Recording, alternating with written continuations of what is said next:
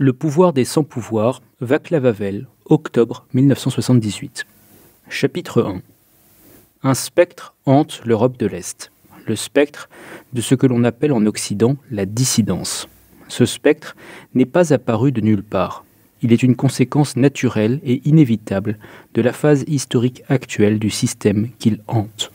Il est né à un moment où ce système, pour mille raisons, ne peut plus se baser sur l'application pure, brutale et arbitraire du pouvoir en éliminant toute expression de non-conformité. De plus, ce système s'est tellement figé politiquement qu'il n'existe pratiquement aucun moyen de mettre en œuvre cette non-conformité au sein de ces structures officielles. Qui sont ces soi-disant dissidents? D'où vient leur point de vue et quelle est son importance? Quelle est la signification des initiatives indépendantes auxquelles collaborent les dissidents et quelles sont les chances réelles de succès de ces initiatives? Est-il approprié de parler des dissidents comme d'une opposition? Si oui, qu'est-ce qu'une telle opposition dans le cadre de ce système? Que fait-elle? Quel rôle joue-t-elle dans la société? Quels sont ses espoirs et sur quoi repose-t-il? Les dissidents, en tant que catégorie de sous-citoyens extérieurs au pouvoir, ont-ils le pouvoir d'exercer une quelconque influence sur la société et le système social? Peuvent-ils réellement changer quelque chose? Je pense qu'un examen de ces questions, un examen du pouvoir des sans-pouvoirs, ne peut commencer que par un examen de la nature du pouvoir dans les circonstances dans lesquelles ces personnes sans pouvoir opèrent. Chapitre 2 Notre système est le plus souvent caractérisé comme une dictature ou plus précisément comme la dictature d'une bureaucratie politique sur une société qui a subi un nivellement économique et social. Je crains que le terme dictature, aussi intelligible soit-il par ailleurs, ne tende à obscurcir plutôt qu'à clarifier les natures réelles du pouvoir dans ce système. Nous associons généralement ce terme à la notion d'un petit groupe de personnes qui s'emparent du gouvernement d'un pays donné par la force leur pouvoir est exercé ouvertement en utilisant les instruments directs du pouvoir à leur disposition et ils se distinguent facilement socialement de la majorité sur laquelle ils règnent. L'un des aspects essentiels de cette notion traditionnelle ou classique de dictature est l'hypothèse qu'elle est temporaire, éphémère, sans racines historiques. Son existence semble être liée à la vie de ceux qui l'ont établie. Elle a généralement une portée et une importance locale et, quelle que soit l'idéologie qu'elle utilise pour se donner une légitimité, son pouvoir découle en fin de compte du nombre et de la puissance armée de ses soldats et de sa police. La principale menace à son existence est ressentie comme la possibilité que quelqu'un de mieux équipé dans ce sens apparaisse et le renverse. Même cet aperçu très superficiel devrait montrer clairement que le système dans lequel nous vivons a très peu en commun avec une dictature classique.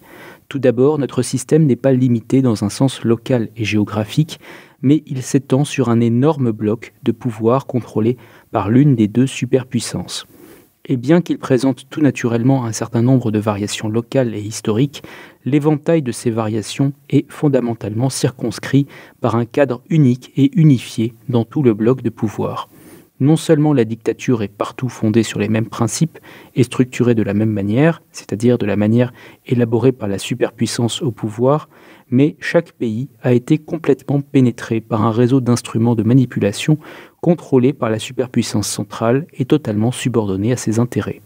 Dans le monde sans issue des deux puissances nucléaires, bien sûr, cette circonstance confère au système un degré de stabilité externe sans précédent par rapport aux dictatures classiques de nombreuses crises locales qui, dans un État isolé, conduiraient à un changement de système, peuvent être résolues par une intervention directe des forces armées du reste du bloc.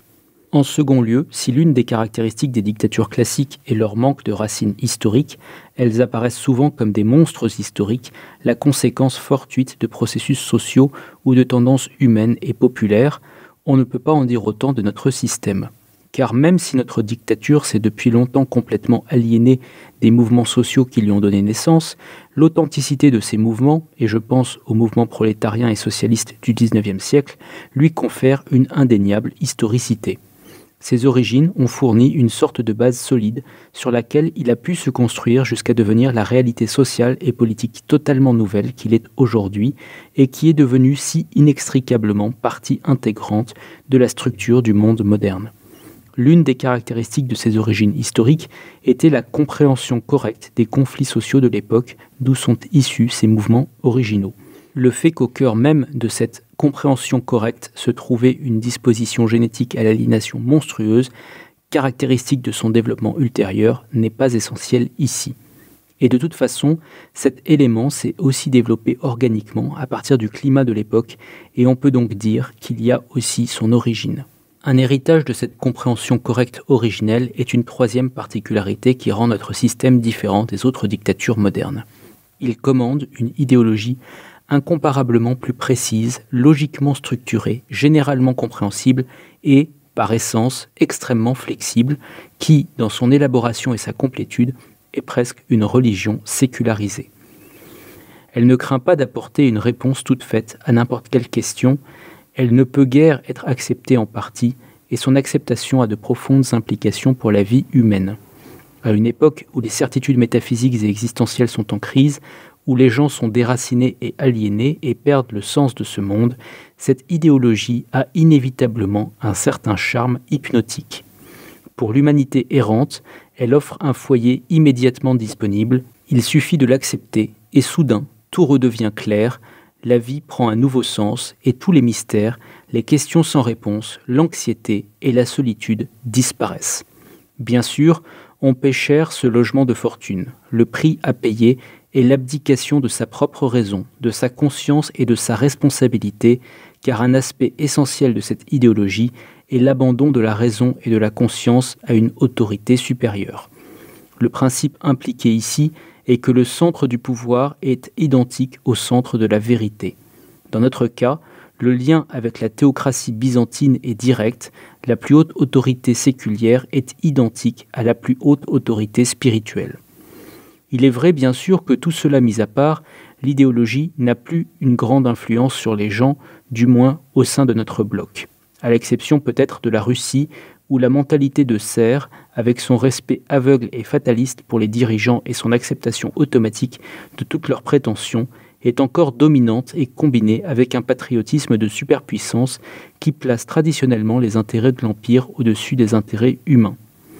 Mais cela n'est pas important car l'idéologie joue très bien son rôle dans notre système, une question sur laquelle je reviendrai, précisément parce qu'elle est ce qu'elle est. Quatrièmement, la technique d'exercice du pouvoir dans les dictatures traditionnelles contient un élément nécessaire d'improvisation. Les mécanismes d'exercice du pouvoir ne sont pas, pour la plupart, fermement établis et il y a une place considérable pour l'accident et pour l'application arbitraire et non réglementée du pouvoir. Socialement, psychologiquement et physiquement, les conditions existent toujours pour l'expression d'une certaine forme d'opposition. En bref, il y a de nombreuses coutures à la surface qui peuvent se rompre avant que l'ensemble de la structure du pouvoir ait réussi à se stabiliser. Notre système, en revanche, s'est développé en Union soviétique depuis plus de 60 ans et depuis environ 30 ans en Europe de l'Est. De plus, plusieurs des caractéristiques structurelles établies de longue date sont dérivées de l'absolutisme tsariste en termes d'aspect physique du pouvoir, cela a conduit à la création de mécanismes si complexes et si bien développés pour la manipulation directe et indirecte de toute la population que, en tant que base physique du pouvoir, cela représente quelque chose de radicalement nouveau. En même temps, n'oublions pas que le système est rendu beaucoup plus efficace par la propriété de l'État et la direction centrale de tous les moyens de production. Cela donne à la structure du pouvoir une capacité sans précédent et incontrôlable d'investir en elle-même, dans les domaines de la bureaucratie et de la police par exemple, et rend plus facile pour cette structure, en tant que seul employeur, de manipuler l'existence quotidienne de tous les citoyens. Enfin, si une atmosphère d'excitation révolutionnaire, d'héroïsme, de dévouement et de violence tapageuse de toutes parts caractérise les dictatures classiques, les dernières traces d'une telle atmosphère ont disparu du bloc soviétique. Depuis quelque temps déjà, ce bloc a cessé d'être une sorte d'enclave, isolé du reste du monde, développé et immunisé contre les processus qui s'y déroulent. Au contraire, le bloc soviétique fait partie intégrante de ce monde plus vaste, et il partage et façonne le destin du monde. Cela signifie concrètement que la hiérarchie des valeurs existant dans les pays développés de l'Ouest est, pour l'essentiel, apparue dans notre société la longue période de coexistence avec l'Ouest n'a fait qu'accélérer le processus. En d'autres termes, ce que nous avions ici est simplement une autre forme de la société de consommation et industrielle, avec toutes ses conséquences sociales, intellectuelles et psychologiques concomitantes. il est impossible de comprendre correctement la nature du pouvoir dans notre système sans en tenir compte. La profonde différence entre notre système, en termes de nature du pouvoir, et ce que nous entendons traditionnellement par une dictature, une différence qui, je l'espère, est claire même à partir de cette comparaison assez superficielle, m'a poussé à chercher un terme approprié pour notre système uniquement pour les besoins de cet essai. Si je l'appelle désormais système post-totalitaire, je suis pleinement conscient que ce n'est peut-être pas le terme le plus précis, mais je n'en vois pas de meilleur. Je ne veux pas laisser entendre par le préfixe post que le système n'est plus totalitaire. Au contraire, je veux dire qu'il est totalitaire d'une manière fondamentalement différente des dictatures classiques, différente du totalitarisme tel que nous le comprenons habituellement. Les circonstances que j'ai mentionnées ne forment cependant qu'un cercle de facteurs conditionnels et une sorte de cadre phénoménal pour la composition effective du pouvoir dans le système post-totalitaire dont je vais maintenant tenter de cerner plusieurs aspects. Chapitre 3 Partons d'un exemple. Le gérant d'un magasin de fruits et légumes place dans sa vitrine, parmi les oignons et les carottes, le slogan Travailleurs de tous les pays, unissez-vous. Pourquoi fait-il cela? Qu'essaye-t-il de communiquer au monde? Est-il vraiment enthousiaste à l'idée de l'unité des travailleurs du monde entier? Son enthousiasme est-il si grand qu'il ressent une impulsion irrépressible pour faire connaître au public ses idéaux? A-t-il vraiment réfléchi plus d'un instant à la manière dont cette unification de tous les travailleurs pourrait se produire et de ce qu'elle signifie?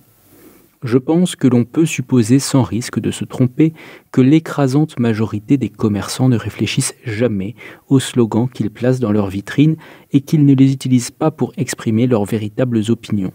Cette affiche a été livrée à notre marchand de légumes par le siège de l'entreprise avec les oignons et les carottes. Il les a tous mis dans la vitrine simplement parce que cela se fait depuis des années, parce que tout le monde le fait et parce que c'est ainsi que cela doit être. S'il refusait, il y aurait des problèmes. On pourrait lui reprocher de ne pas avoir la décoration appropriée sur sa fenêtre. Quelqu'un pourrait même l'accuser de déloyauté. Il le fait parce que ces choses doivent être faites si l'on veut s'en sortir dans la vie. C'est l'un des milliers de détails qui lui garantissent une vie relativement tranquille, en harmonie avec la société, comme on dit. Il est évident que le marchand de légumes est indifférent au contenu sémantique du slogan employé. Il ne met pas le slogan dans sa vitrine à cause d'un désir personnel de faire connaître au public l'idéal qu'il exprime. Bien entendu, cela ne signifie pas que son action n'a aucun motif, ni aucune signification, ni que le slogan ne communique rien à personne. Le slogan est en réalité un signe, et en tant que tel, il contient un message subliminal mais très précis. Verbalement, il pourrait être exprimé de la manière suivante. Moi, le marchand de fruits et légumes X, je vis ici et je sais ce que je dois faire. Je me comporte comme on l'attend de moi. On peut compter sur moi et je suis irréprochable, je suis obéissant et j'ai donc le droit d'être laissé en paix. Ce message, bien sûr, a un destinataire. Il est dirigé vers le haut, vers le supérieur du marchand de légumes, et en même temps c'est un bouclier qui protège le marchand de légumes des informateurs potentiels. La signification réelle des slogans est donc fermement ancrée dans l'existence du marchand de fruits et légumes. Il reflète ses intérêts vitaux. Mais quels sont ces intérêts vitaux? Notons que si le marchand de fruits et légumes avait reçu l'ordre d'afficher le slogan J'ai peur et donc j'obéis aveuglément, il serait loin d'être aussi indifférent à sa sémantique, même si l'affirmation reflétait la vérité le marchand de légumes serait gêné et honteux d'afficher en vitrine une déclaration aussi catégorique de sa propre déchéance, et ce tout naturellement, car il est un être humain et a donc le sens de sa propre dignité. Pour surmonter cette complication, l'expression de sa loyauté doit prendre la forme d'un signe qui, au moins sur sa surface textuelle, indique un niveau de conviction désintéressé. Il doit permettre aux marchands de fruits et légumes de dire Qu'y a-t-il de mal à ce que tous les travailleurs du monde entier s'unissent? Ainsi, l'enseigne aide le marchand de légumes à se dissimuler à lui-même les bas fondements de son obéissance, dissimulant en même temps les bas fondements du pouvoir. Il les cache derrière la façade de quelque chose de haut. Et ce quelque chose, c'est l'idéologie. L'idéologie est une manière spécieuse de se rapporter au monde elle offre aux êtres humains l'illusion d'une identité, d'une dignité et d'une moralité, tout en leur permettant de s'en séparer plus facilement. En tant que dépositaire de quelque chose de supra-personnel et d'objectif, elle permet aux gens de tromper leur conscience et de dissimuler leur véritable position et leur modus vivendi peu glorieux, tant au monde qu'à eux-mêmes. Il s'agit d'une manière très pragmatique, mais en même temps digne en apparence, de légitimer ce qui est en haut, en bas et de chaque côté. Elle est dirigée vers les gens et vers Dieu. C'est un voile derrière lequel les êtres humains peuvent cacher leur propre existence déchue, leur banalisation et leur adaptation au statu quo. C'est une excuse que tout le monde peut utiliser, depuis le marchand de légumes qui dissimule sa peur de perdre son emploi derrière un prétendu intérêt pour l'unification des travailleurs du monde entier, jusqu'aux plus hauts fonctionnaires dont l'intérêt à rester au pouvoir peut être dissimulé sous des phrases sur le service rendu à la classe ouvrière. La principale fonction excusatoire de l'idéologie consiste donc à donner aux gens, à la fois comme victimes et comme piliers du système post-totalitaire, l'illusion que le système est en harmonie avec l'ordre humain et l'ordre de l'univers. Plus une dictature est petite et moins la société qui l'a subie est stratifiée par la modernisation, plus la volonté du dictateur peut s'exercer directement. En d'autres termes, le dictateur peut employer une discipline plus ou moins nue en évitant les processus complexes de relation au monde et d'auto-justification que l'idéologie implique. Mais plus les mécanismes de pouvoir deviennent complexes, plus la société qu'ils englobent est vaste et stratifiée, et plus ils fonctionnent depuis longtemps dans l'histoire, plus les individus doivent être reliés à eux de l'extérieur, et plus l'excuse idéologique prend de l'importance. Elle agit comme une sorte de pont entre le régime et le peuple, à travers lequel le régime approche le peuple et le peuple approche le régime. Cela explique pourquoi l'idéologie joue un rôle si important dans le système post-totalitaire. Cette machinerie complexe d'unités, de hiérarchie, de courroies de transmission et d'instruments indirects de manipulation qui assurent de façon innombrable l'intégrité du régime, sans rien laisser au hasard, serait tout simplement impensable sans l'idéologie qui lui sert d'excuse globale et d'excuse pour chacune de ses parties. Chapitre 4 entre les objectifs du système post-totalitaire et les objectifs de la vie, il y a un abîme béant. Alors que la vie, dans son essence, va vers la pluralité, la diversité, l'autoconstitution indépendante et l'auto-organisation, bref, vers l'accomplissement de sa propre liberté, le système post-totalitaire exige conformité, uniformité et discipline. Alors que la vie s'efforce toujours de créer des structures nouvelles et originales, le système post-totalitaire s'efforce de contraindre la vie à ses états les plus routiniers. Les objectifs du système révèlent que sa caractéristique la plus essentielle est l'introversion, un mouvement vers un être toujours plus complet et sans réserve, ce qui signifie que le rayon de son influence s'élargit continuellement. Ce système ne sert les gens que dans la mesure nécessaire pour s'assurer que les gens le servent. Tout ce qui va au-delà, c'est-à-dire tout ce qui amène les gens à outrepasser leur rôle prédéterminé, est considéré par le système comme une attaque contre lui-même, et à cet égard, il a raison. Chaque cas de transgression est un véritable déni du système.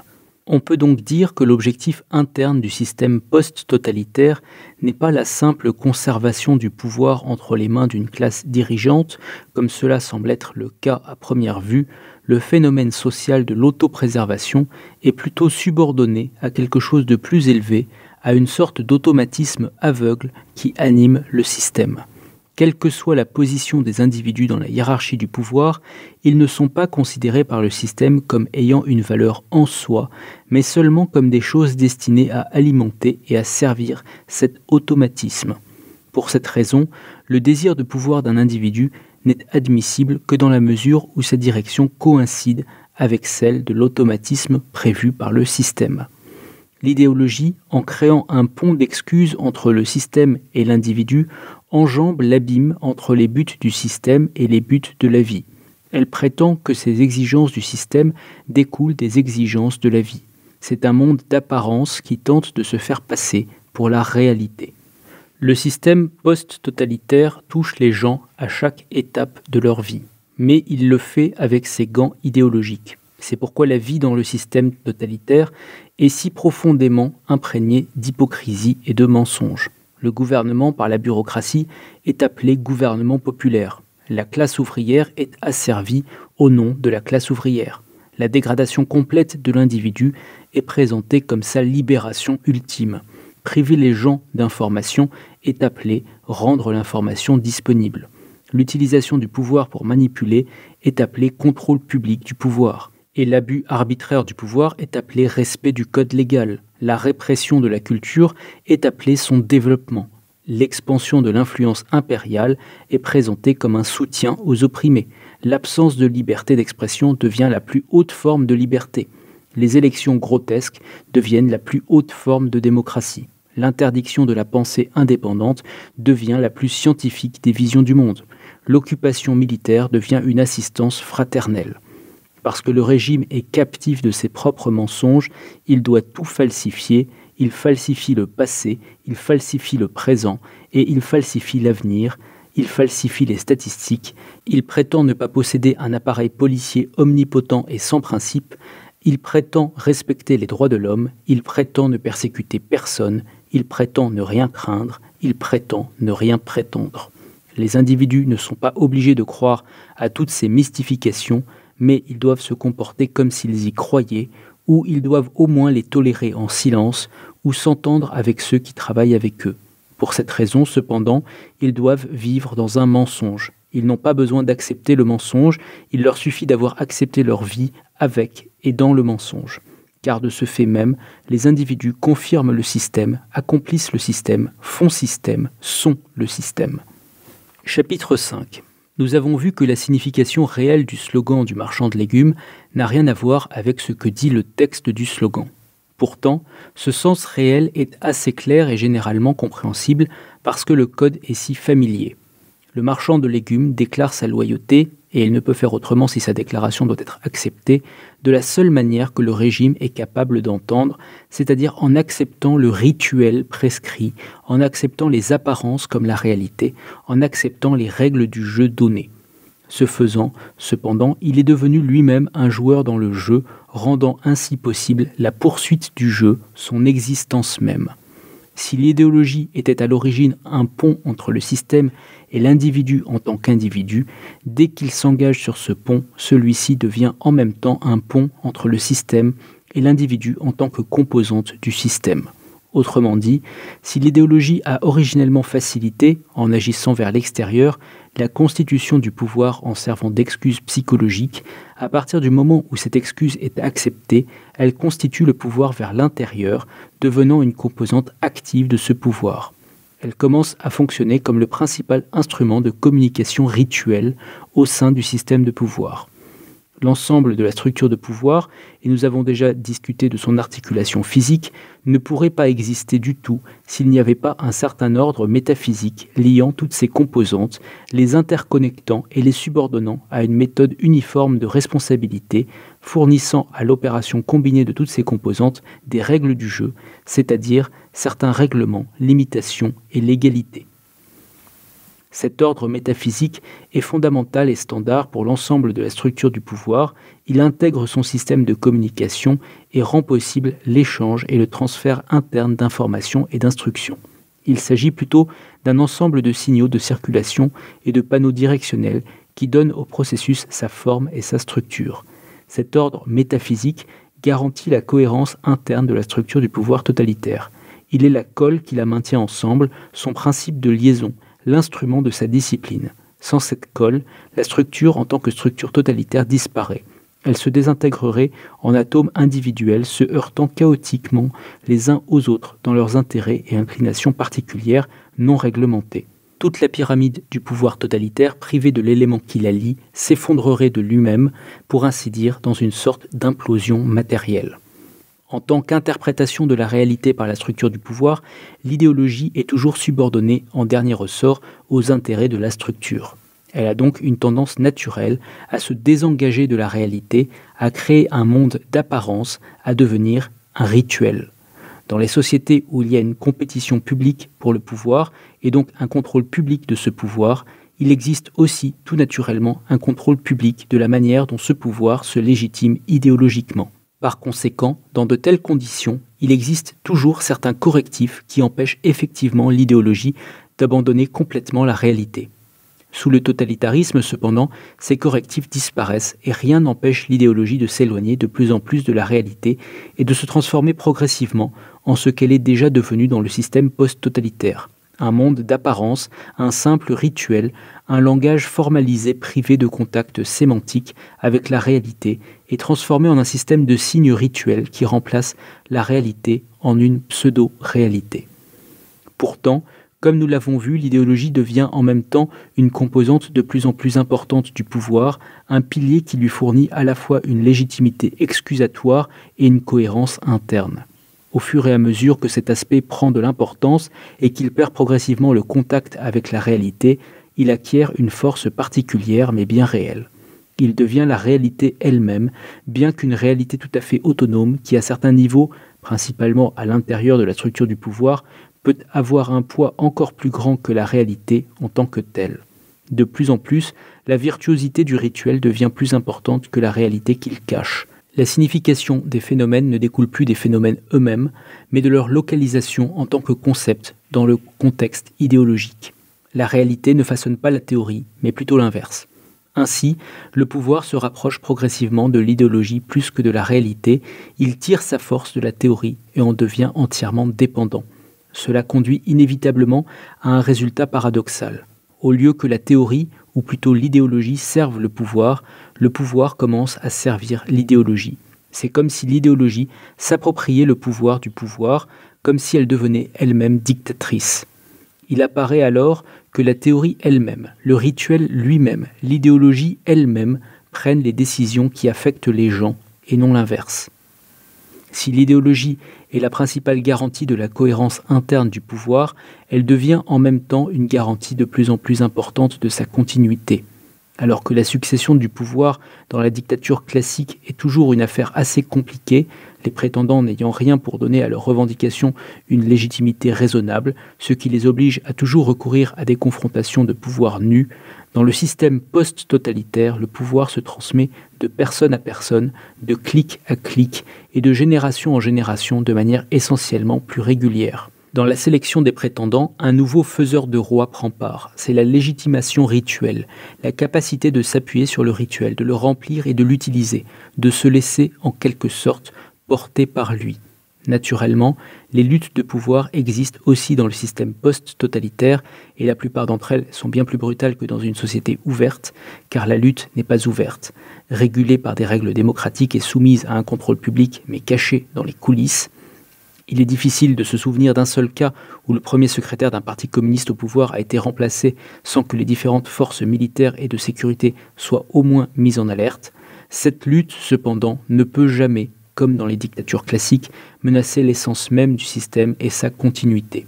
Tout au plus, elle ébranlera la structure du pouvoir qui se rétablira rapidement, précisément parce que la substance, l'idéologie qui la lie, reste intacte.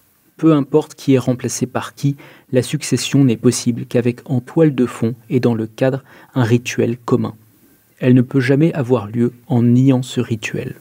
En raison de cette dictature du rituel, le pouvoir devient cependant clairement anonyme. Les individus sont presque dissous dans le rituel. Ils se laissent entraîner par lui, et il semble souvent que le rituel seul fasse passer les gens de l'obscurité à la lumière du pouvoir. N'est-il pas caractéristique du système post-totalitaire que, à tous les niveaux de hiérarchie du pouvoir, les individus soient de plus en plus écartés par des personnes sans visage, des marionnettes, des larbins en uniforme, de rituels et de routines du pouvoir?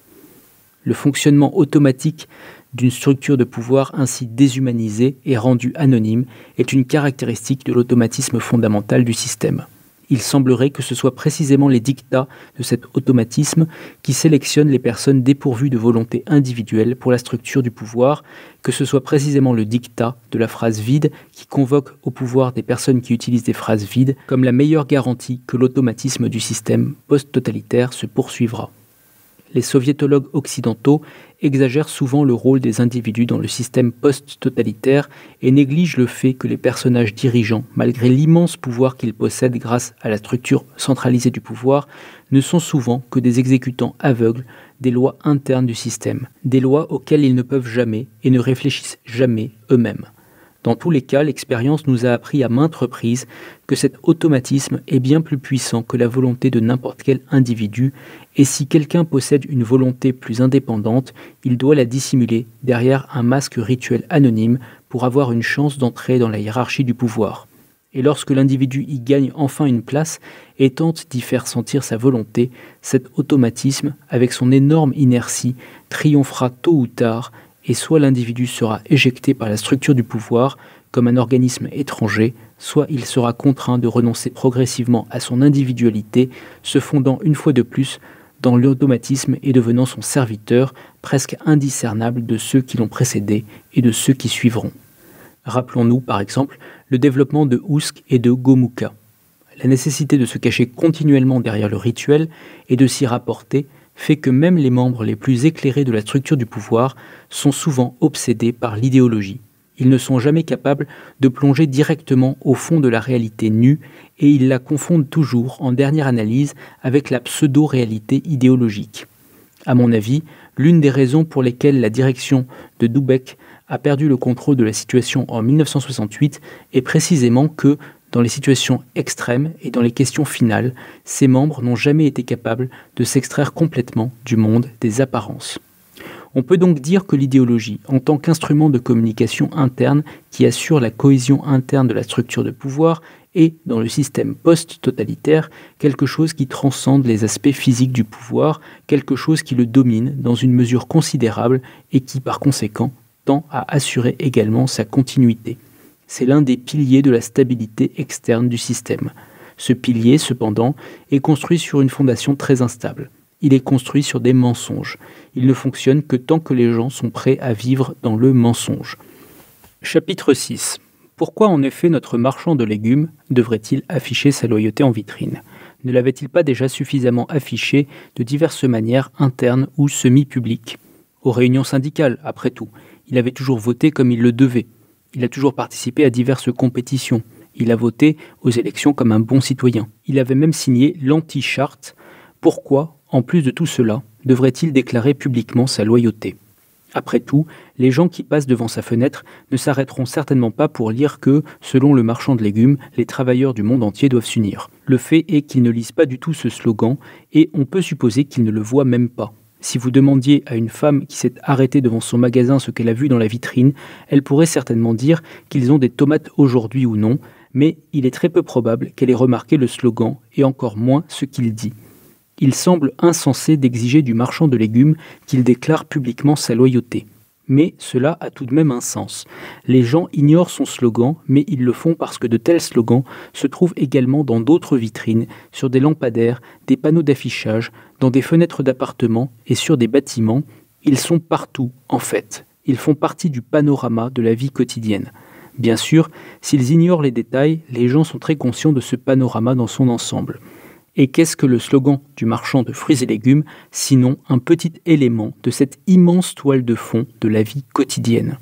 Le marchand de légumes a donc dû mettre le slogan dans sa vitrine, non pas dans l'espoir que quelqu'un le lise ou s'en persuade, mais pour contribuer, avec des milliers d'autres slogans, au panorama dont tout le monde a conscience.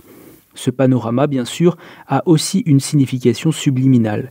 Il rappelle aux gens où ils vivent et ce qu'on attend d'eux il leur dit ce que tout le monde fait et leur indique ce qu'ils doivent faire eux aussi s'ils ne veulent pas être exclus, tomber dans l'isolement, s'aliéner de la société, enfreindre les règles du jeu et risquer de perdre leur paix, leur tranquillité et leur sécurité. La femme qui a ignoré le slogan du marchand de fruits et légumes peut très bien avoir accroché un slogan similaire une heure auparavant dans le couloir du bureau où elle travaille.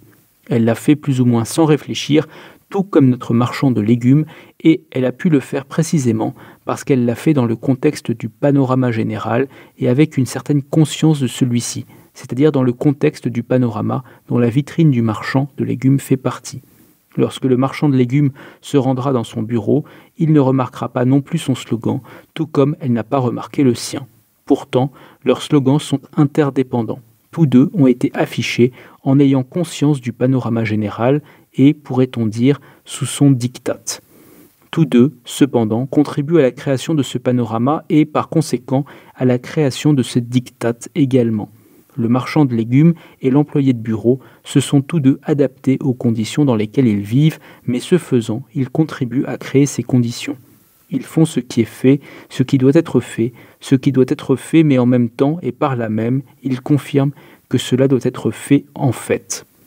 Ils se conforment à une exigence particulière et ce faisant, ils perpétuent eux-mêmes cette exigence métaphysiquement parlant, sans le slogan des marchands de légumes, le slogan des employés de bureau ne pourrait pas exister et vice-versa. Chacun propose à l'autre de répéter quelque chose et chacun accepte la proposition de l'autre. Leur indifférence mutuelle à l'égard de leurs slogans respectifs n'est qu'une illusion.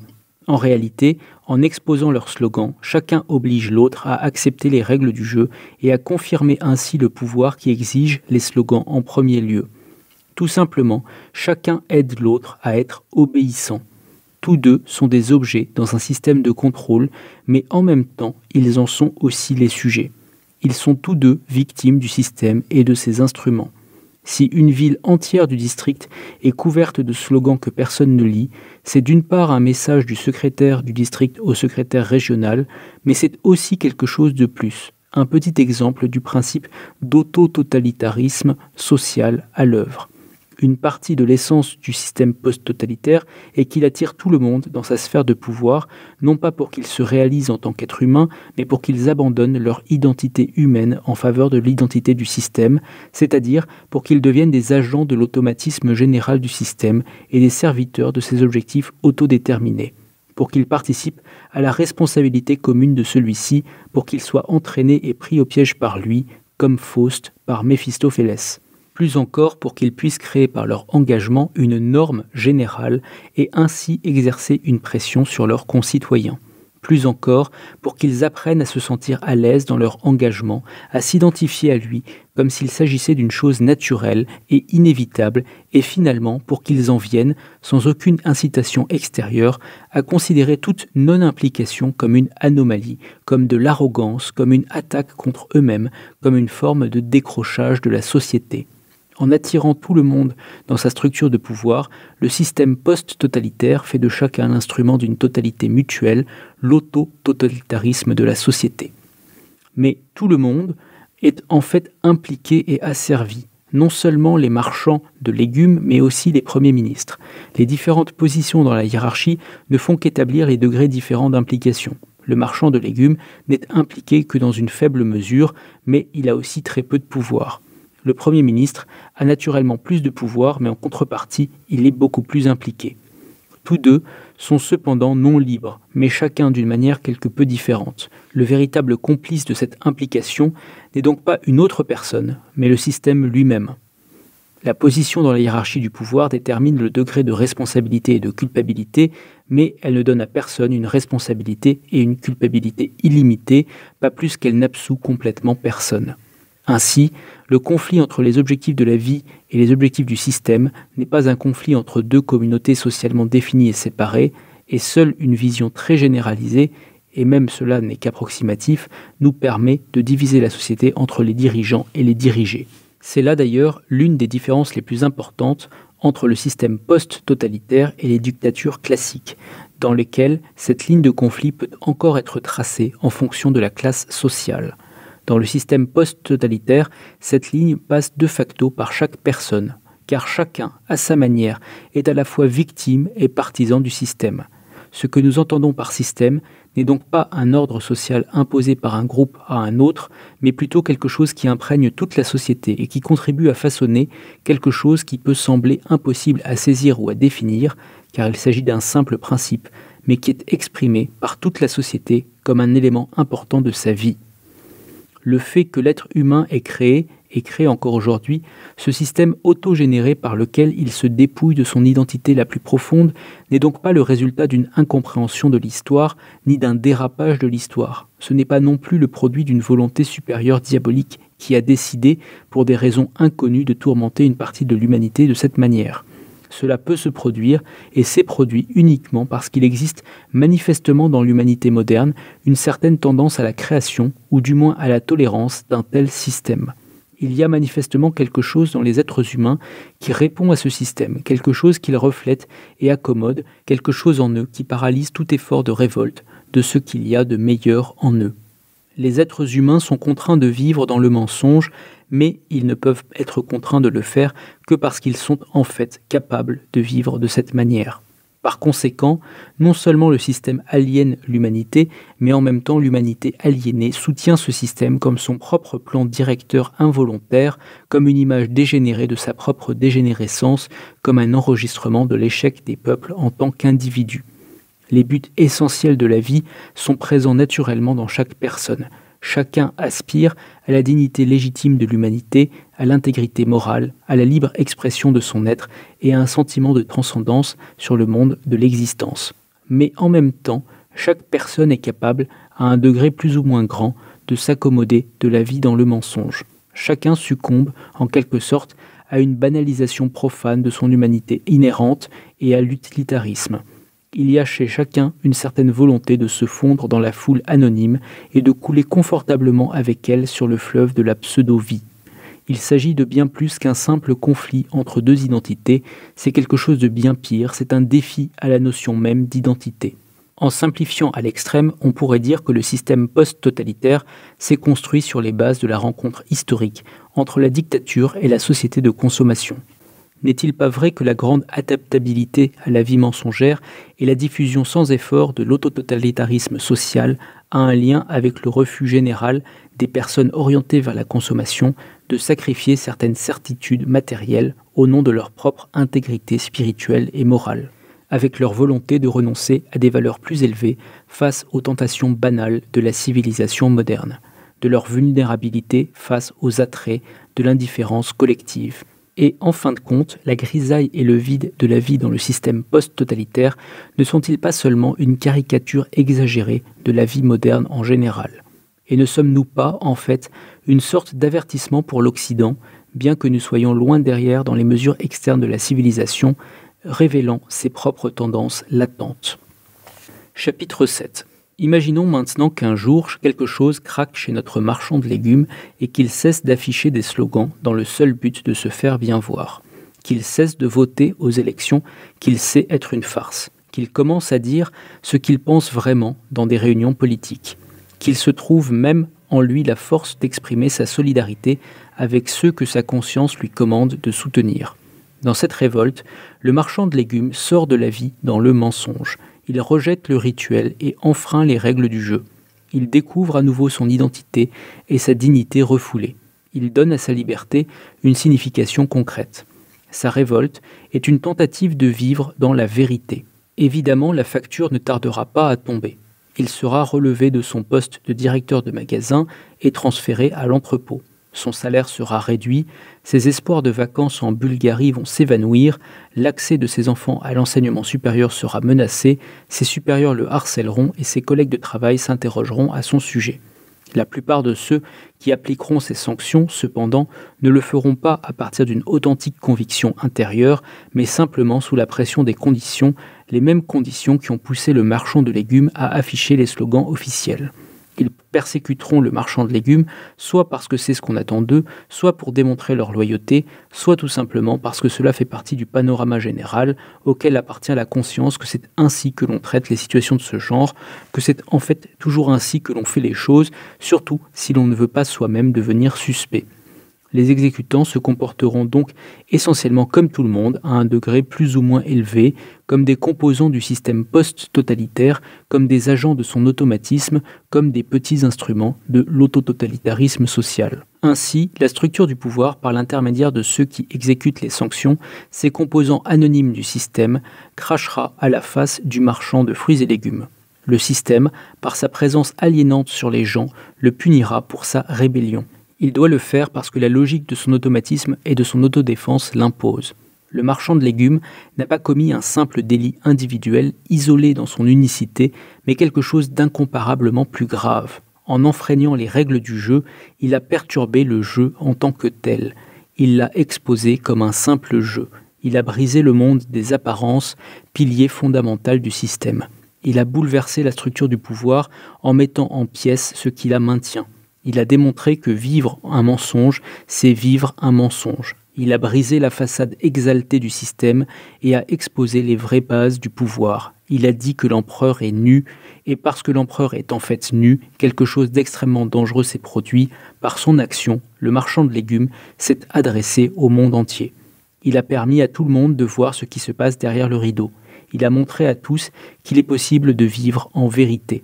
Vivre dans le mensonge ne peut constituer le système que s'il est universel. Le principe doit embrasser et imprégner tout. Il ne peut en aucun cas coexister avec la vie dans la vérité. Et c'est pourquoi tous ceux qui s'écartent du système le nient dans son principe et le menacent dans sa totalité. Cela est compréhensible. Tant que l'apparence n'est pas confrontée à la réalité, elle ne semble pas être une apparence. Tant que vivre un mensonge n'est pas confronté à vivre en vérité, le recul nécessaire pour en dénoncer la fausseté fait défaut mais dès que l'alternative apparaît, elle menace l'existence même de l'apparence et du mensonge dans ce qu'ils sont, à la fois leur essence et leur globalité. Et en même temps, la taille de l'espace occupé par cette alternative importe peu. Sa puissance ne réside pas dans ses attributs physiques, mais dans la lumière qu'elle jette sur les piliers du système et sur ses fondations instables. Après tout, le marchand de légumes était une menace pour le système non pas en raison de son pouvoir physique ou réel, mais parce que son action allait au-delà d'elle-même, parce qu'elle illuminait son environnement, et bien sûr en raison des conséquences incalculables de cette illumination. Dans le système post-totalitaire, vivre en vérité a donc plus qu'une simple dimension existentielle, rendre l'humanité à sa nature inhérente, ou une dimension noétique, révéler la réalité telle qu'elle est, ou une dimension morale, donner l'exemple aux autres, elle a aussi une dimension politique sans ambiguïté. Si le principal pilier du système est de vivre dans un mensonge, il n'est pas surprenant que la menace fondamentale qui pèse sur lui soit de vivre en vérité. C'est pourquoi elle doit être réprimée plus sévèrement que toute autre chose.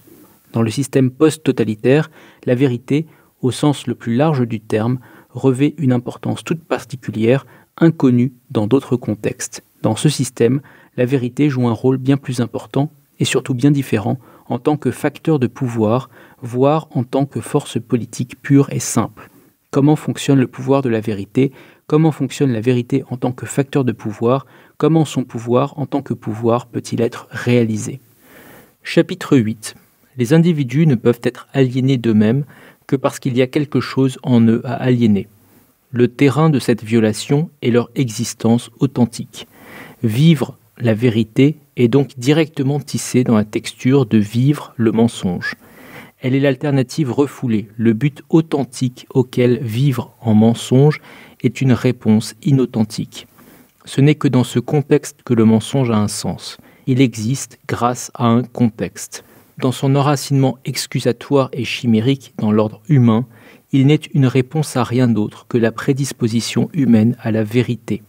Sous la surface ordonnée de la vie du mensonge, sommeille donc la sphère cachée de la vie dans ses buts réels, de son ouverture cachée à la vérité.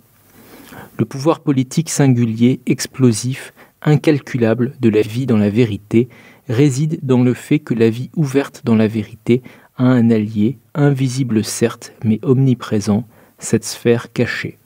C'est à partir de cette sphère que la vie vécue ouvertement dans la vérité se développe, c'est à cette sphère qu'elle parle et en elle qu'elle trouve la compréhension. C'est là qu'existe le potentiel de communication.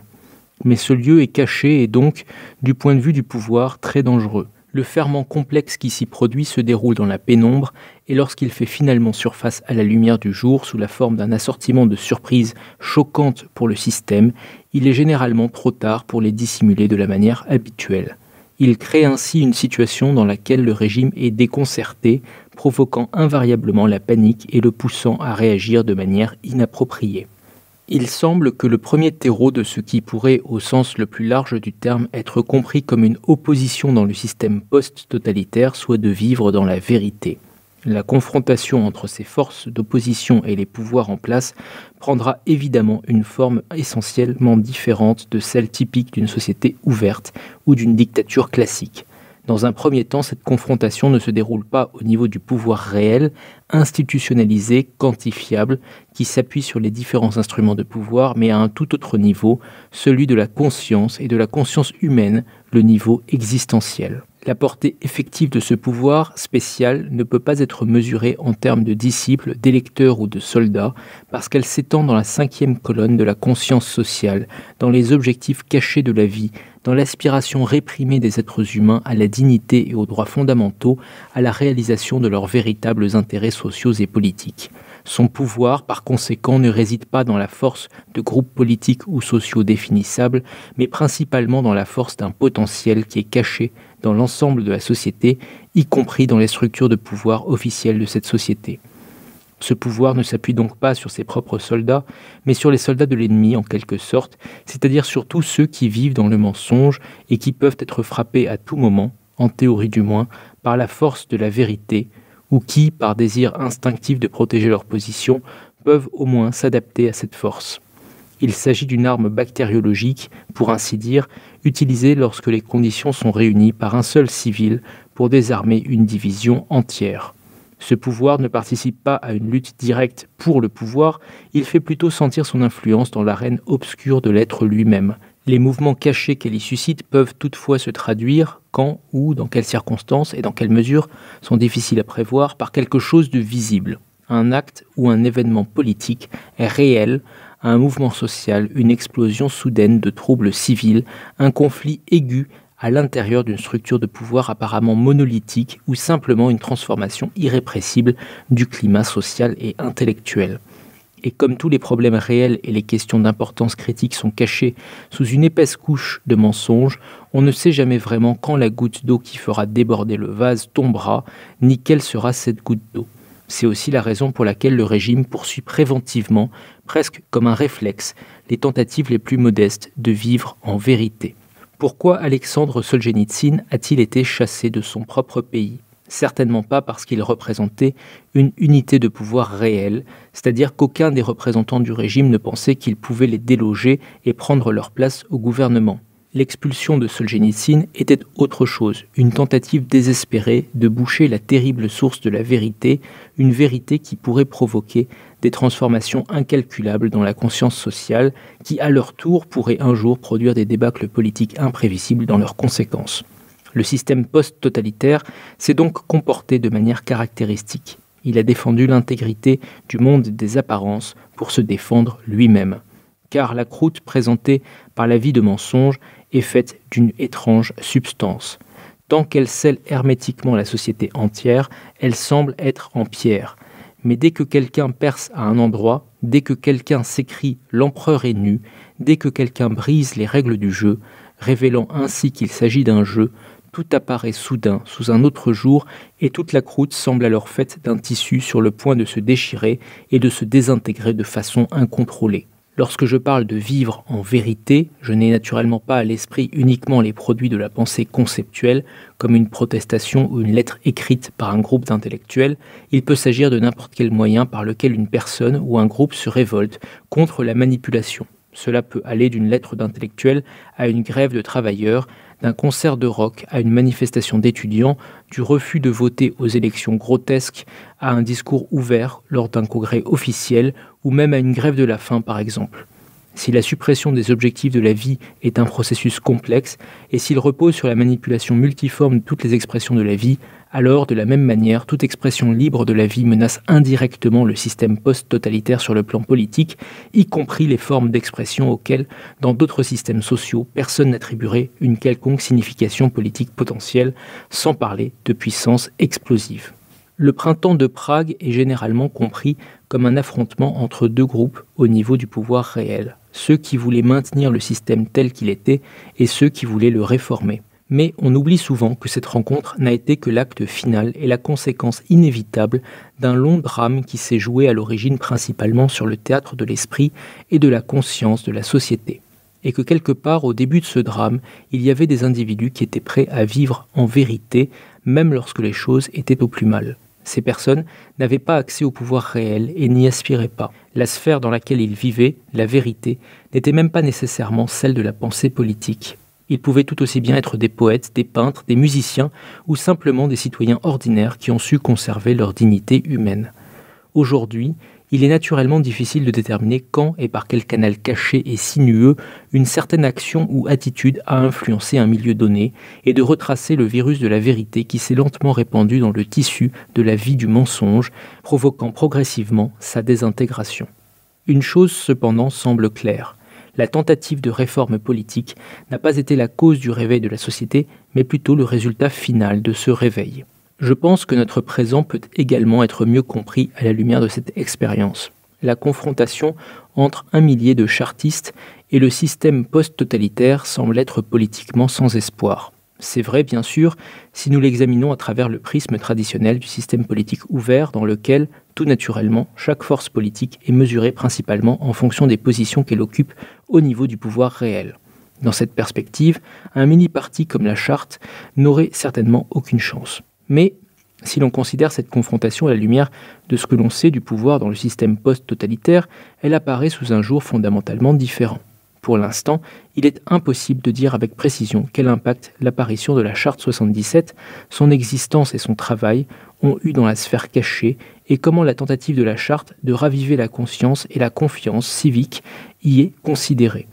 Il est encore moins possible de prédire si, et comment cet investissement produira finalement des dividendes sous la forme de changements politiques spécifiques. Mais cela, bien sûr, fait partie de la vie en vérité. En tant que solution existentielle, elle ramène les individus à la terre ferme de leur propre identité.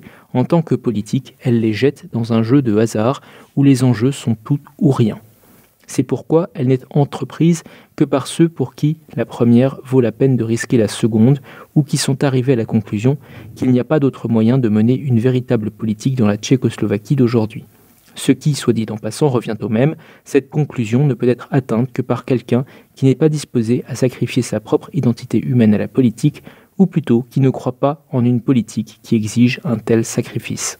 Plus le système post-totalitaire fait échouer toute alternative rivale au niveau du pouvoir réel, ainsi que toute forme de politique indépendante des lois de son propre automatisme, plus le centre de gravité de toute menace politique potentielle se déplace définitivement vers le domaine de l'existentiel et du pré-politique. Généralement, sans aucun effort conscient, vivre en vérité devient le seul point de départ naturel de toutes les activités qui travaillent contre l'automatisme du système. Et même si ces activités finissent par dépasser le domaine de la vie dans la vérité, ce qui signifie qu'elles se transforment en diverses structures, mouvements, institutions parallèles, qu'elles commencent à être considérées comme des activités politiques, qu'elles exercent une pression réelle sur les structures officielles et qu'elles commencent en fait à avoir une certaine influence sur le niveau du pouvoir réel, elles portent toujours avec elles la marque spécifique de leur source. Il me semble donc que même les mouvements dits dissidents ne peuvent pas être compris correctement sans avoir constamment à l'esprit ce contexte particulier dont ils sont issus. Chapitre 9 la crise profonde de l'identité humaine provoquée par la vie dans le mensonge, crise qui à son tour rend possible une telle vie, possède certainement aussi une dimension morale. Elle apparaît entre autres comme une profonde crise morale de la société une personne qui a été séduite par le système de valeurs de consommation, dont l'identité est dissoute dans un amalgame d'accessoires de la civilisation de masse et qui n'a pas de racine dans l'ordre de l'être, aucun sens de la responsabilité pour quelque chose de plus élevé que sa propre survie personnelle, est une personne démoralisée. Le système dépend de cette démoralisation, l'approfondit et en fait une projection dans la société. Vivre dans la vérité en tant que révolte de l'humanité contre une position forcée est au contraire une tentative de reprendre le contrôle de son propre sens de la responsabilité. En d'autres termes, il s'agit clairement d'un acte moral, non seulement parce que l'on doit en payer le prix fort, mais surtout parce qu'il n'est pas intéressé. Le risque peut être récompensé par une amélioration générale de la situation ou pas. À cet égard, comme je l'ai dit précédemment, c'est un pari tout ou rien et il est difficile d'imaginer une personne raisonnable s'engager dans une telle voie simplement parce qu'elle estime que le sacrifice d'aujourd'hui sera récompensé demain, ne serait-ce que sous la forme d'une gratitude générale.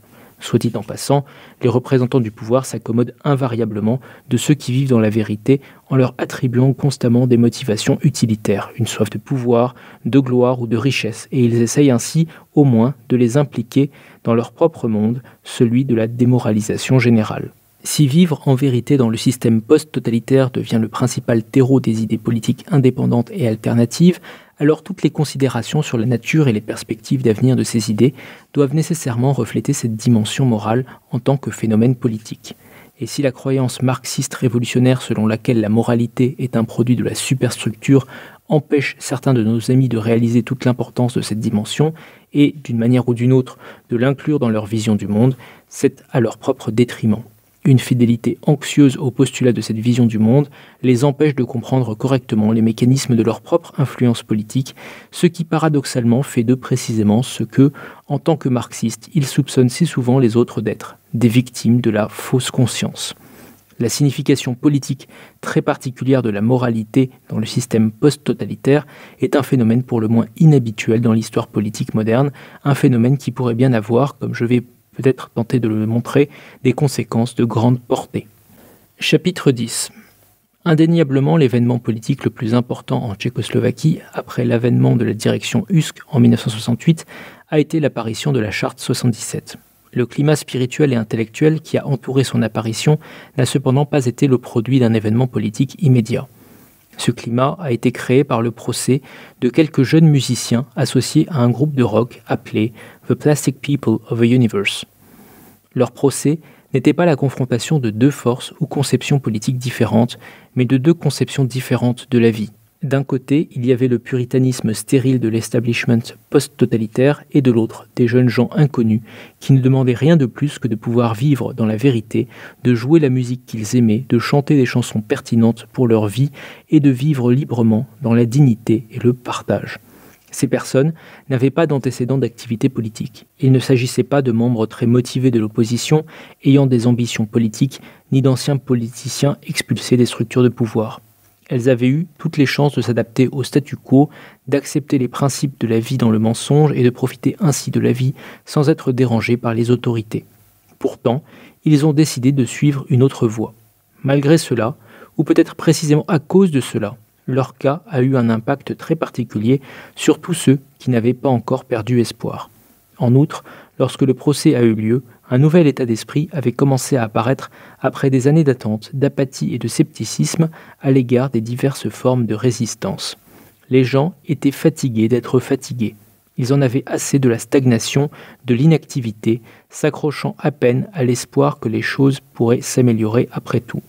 D'une certaine manière, le procès a été la goutte d'eau qui a fait déborder le vase. De nombreux groupes de tendances différentes, qui jusque-là étaient restés isolés les uns des autres, peu enclins à coopérer ou qui s'étaient engagés dans des formes d'action qui rendaient la coopération difficile, ont soudain été frappés par la puissante prise de conscience que la liberté est indivisible. Tout le monde a compris qu'une attaque contre l'underground musical tchèque était une attaque contre une chose des plus élémentaires et des plus importantes, quelque chose qui, en fait, reliait tout le monde. C'était une attaque contre la notion même de vivre en vérité sur les véritables objectifs de la vie la liberté de jouer du rock était comprise comme une liberté humaine et donc comme étant essentiellement la même que la liberté de s'engager dans une réflexion philosophique et politique, la liberté d'écrire, la liberté d'exprimer et de défendre les différents intérêts sociaux et politiques de la société. Les gens ont été inspirés par un véritable sentiment de solidarité avec les jeunes musiciens et ils ont compris que ne pas défendre la liberté des autres quels que soient leurs moyens de créativité ou leur attitude face à la vie, signifiait renoncer à sa propre liberté. Il n'y a pas de liberté sans égalité devant la loi, et il n'y a pas d'égalité devant la loi sans liberté. La charte 77 a donné à cette notion ancienne une dimension nouvelle et caractéristique qui a des implications immensément importantes pour l'histoire tchèque moderne. Ce qu'un des auteurs de la charte a expliqué dans son livre 68, dans une brillante analyse, c'est le principe d'exclusion qui est à l'origine de toute notre misère morale et politique actuelle. Ce principe est né à la fin de la Seconde Guerre mondiale, dans cette étrange collusion entre démocrates et communistes, et a ensuite été développé de plus en plus jusqu'à la fin amère. Pour la première fois depuis des décennies, ce principe a été dépassé par la Charte 77. Tous ceux qui se sont unis dans la Charte sont devenus pour la première fois des partenaires égaux.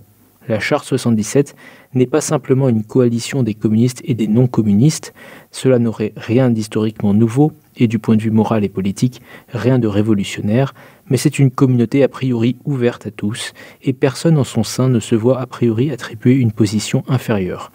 C'est donc dans ce climat que la Charte 77 a été créée, qui aurait pu prévoir que la poursuite d'un ou deux groupes de rock obscurs aurait des conséquences aussi importantes Je pense que les origines de la Charte 77 illustrent très bien ce que j'ai déjà suggéré plus haut. Dans le système post-totalitaire, le contexte réel des mouvements qui prennent progressivement une importance politique ne consiste généralement pas en des événements ouvertement politiques ou en des confrontations entre différentes forces ou concepts ouvertement politiques. Ces mouvements trouvent pour la plupart leur origine ailleurs, dans le domaine beaucoup plus vaste de la pré-politique, où la vie dans le mensonge est confrontée à la vie en vérité, c'est-à-dire où les exigences du système post-totalitaire entrent en conflit avec les objectifs réels de la vie. Ces objectifs réels peuvent naturellement prendre des formes très diverses. Parfois, ils apparaissent comme les intérêts matériels ou sociaux fondamentaux d'un groupe ou d'un individu, d'autres fois, ils peuvent apparaître comme certains intérêts intellectuels et spirituels, d'autres fois encore ils peuvent être des exigences existentielles plus fondamentales, comme le simple désir des gens de vivre leur propre vie dans la dignité. Un tel conflit acquiert alors un caractère politique, non pas en raison de la nature politique élémentaire des objectifs qui demandent d'être entendus, mais simplement parce que, étant donné le système complexe de manipulation sur lequel le système post-totalitaire est fondé, et dont il dépend également, tout acte ou expression humaine libre, toute tentative de vivre en vérité doit nécessairement apparaître comme une menace pour le système et par conséquent comme quelque chose qui est politique par excellence. Toute articulation politique éventuelle des mouvements qui naissent de cet arrière-pays pré-politique est secondaire. Elle se développe et mûrit à la suite d'une confrontation ultérieure avec le système et non parce qu'elle a commencé comme un programme, un projet ou une impulsion politique. Une fois encore, les événements de 1968 le confirment. Les politiciens communistes qui tentaient de réformer le système ont présenté leur programme non pas parce qu'ils avaient soudainement connu une illumination mystique, mais parce qu'ils avaient été amenés à le faire par une pression continue et croissante provenant de domaines de la vie qui n'avaient rien à voir avec la politique au sens traditionnel du terme. En fait, ils essayaient, par des moyens politiques, de résoudre les conflits sociaux qui étaient en fait des confrontations entre les objectifs du système et les objectifs de la vie, que presque tous les niveaux de la société vivaient quotidiennement et auxquels ils réfléchissaient de plus en plus ouvertement depuis des années. Fort de cette résonance vivante dans la société, les chercheurs et les artistes avaient défini le problème de manière très diverse et les étudiants réclamaient des solutions. La genèse de la Charte 77 illustre également la signification politique particulière de l'aspect moral des choses que j'ai mentionné. La Charte 77 aurait été inimaginable sans ce puissant sentiment de solidarité entre des groupes très différents et sans la prise de conscience soudaine qu'il était impossible de continuer à attendre plus longtemps et qu'il fallait dire la vérité haut et fort, collectivement, indépendamment de la quasi-certitude de sanctions et de l'incertitude de tous les résultats tangibles dans l'immédiat. Il y a des choses qui valent la peine de souffrir, écrivait Yann Patochka peu avant sa mort. Je pense que les chartistes comprennent non seulement cela comme l'héritage de Patochka, mais aussi comme la meilleure explication du pourquoi ils font ce qu'ils font. Vu de l'extérieur et surtout du point de vue du système et de sa structure de pouvoir, la charte 77 a été une surprise, un coup de tonnerre. Ce n'était pas un coup de tonnerre, bien sûr, mais cette impression est compréhensible car l'effervescence qui y a conduit s'est déroulée dans la sphère cachée, dans cette pénombre où les choses sont difficiles à cerner ou à analyser. Les chances de prédire l'apparition de la charte étaient tout aussi minces que les chances de prédire où elle va mener. Une fois de plus, ce fut ce choc, si typique des moments où quelque chose de la sphère cachée éclate soudainement à travers la surface moribonde de la vie dans le mensonge plus on est enfermé dans le monde des apparences, plus on est surpris lorsqu'une telle chose se produit. Chapitre 11 Dans les sociétés soumises au système post-totalitaire, toute vie politique au sens traditionnel a été éliminée. Les gens n'ont aucune possibilité de s'exprimer politiquement en public et encore moins de s'organiser politiquement. Le vide qui en résulte est comblé par le rituel idéologique. Dans une telle situation, l'intérêt des gens pour les questions politiques diminue naturellement et la pensée politique indépendante, pour autant qu'elle existe, est considérée par la majorité comme irréaliste, farfelue, une sorte de jeu complaisant, désespérément éloigné de leurs préoccupations quotidiennes. Quelque chose d'admirable peut-être, mais tout à fait inutile car c'est d'une part totalement utopique et d'une part extraordinairement dangereux, étant donné la vigueur inhabituelle avec laquelle tout mouvement dans cette directive est persécuté par le régime. Pourtant, même dans de telles sociétés, il existe des individus et des groupes de personnes qui ne renoncent pas à la politique en tant que vocation et qui, d'une manière ou d'une autre, s'efforcent de penser de manière indépendante, de s'exprimer et dans certains cas de s'organiser politiquement, car cela fait partie de leur tentative de vivre dans la vérité. Le fait que ces personnes existent et travaillent est en soi immensément important et utile. Même dans les pires moments, ils maintiennent la continuité de la pensée politique si une véritable impulsion politique émerge de telle ou telle confrontation pré-politique et qu'elle est correctement articulée suffisamment tôt, augmentant ainsi ses chances de succès relatifs, c'est souvent grâce à ces généraux isolés sans armée qui, parce qu'ils ont maintenu la continuité de la pensée politique face à d'énormes difficultés, peuvent au bon moment enrichir la nouvelle impulsion avec les fruits de leur propre pensée politique. Une fois encore, ce processus est amplement démontré en Tchécoslovaquie. Presque tous ceux qui étaient prisonniers politiques au début des années 70, qui avaient apparemment souffert en vain de leurs efforts chimériques pour travailler politiquement au sein d'une société totalement apathique et démoralisée, font aujourd'hui inévitablement partie des chartistes les plus actifs. Dans la charte 77, l'héritage moral de leur sacrifice antérieur est valorisé et ils ont enrichi ce mouvement de leur expérience et de cet élément de pensée politique. Et pourtant, il me semble que la pensée et l'activité de ces amis qui n'ont jamais abandonné le travail politique direct et qui sont toujours prêts à assumer des responsabilités politiques souffrent très souvent d'un défaut chronique, une compréhension insuffisante de la singularité historique du système post-totalitaire en tant que réalité sociale et politique.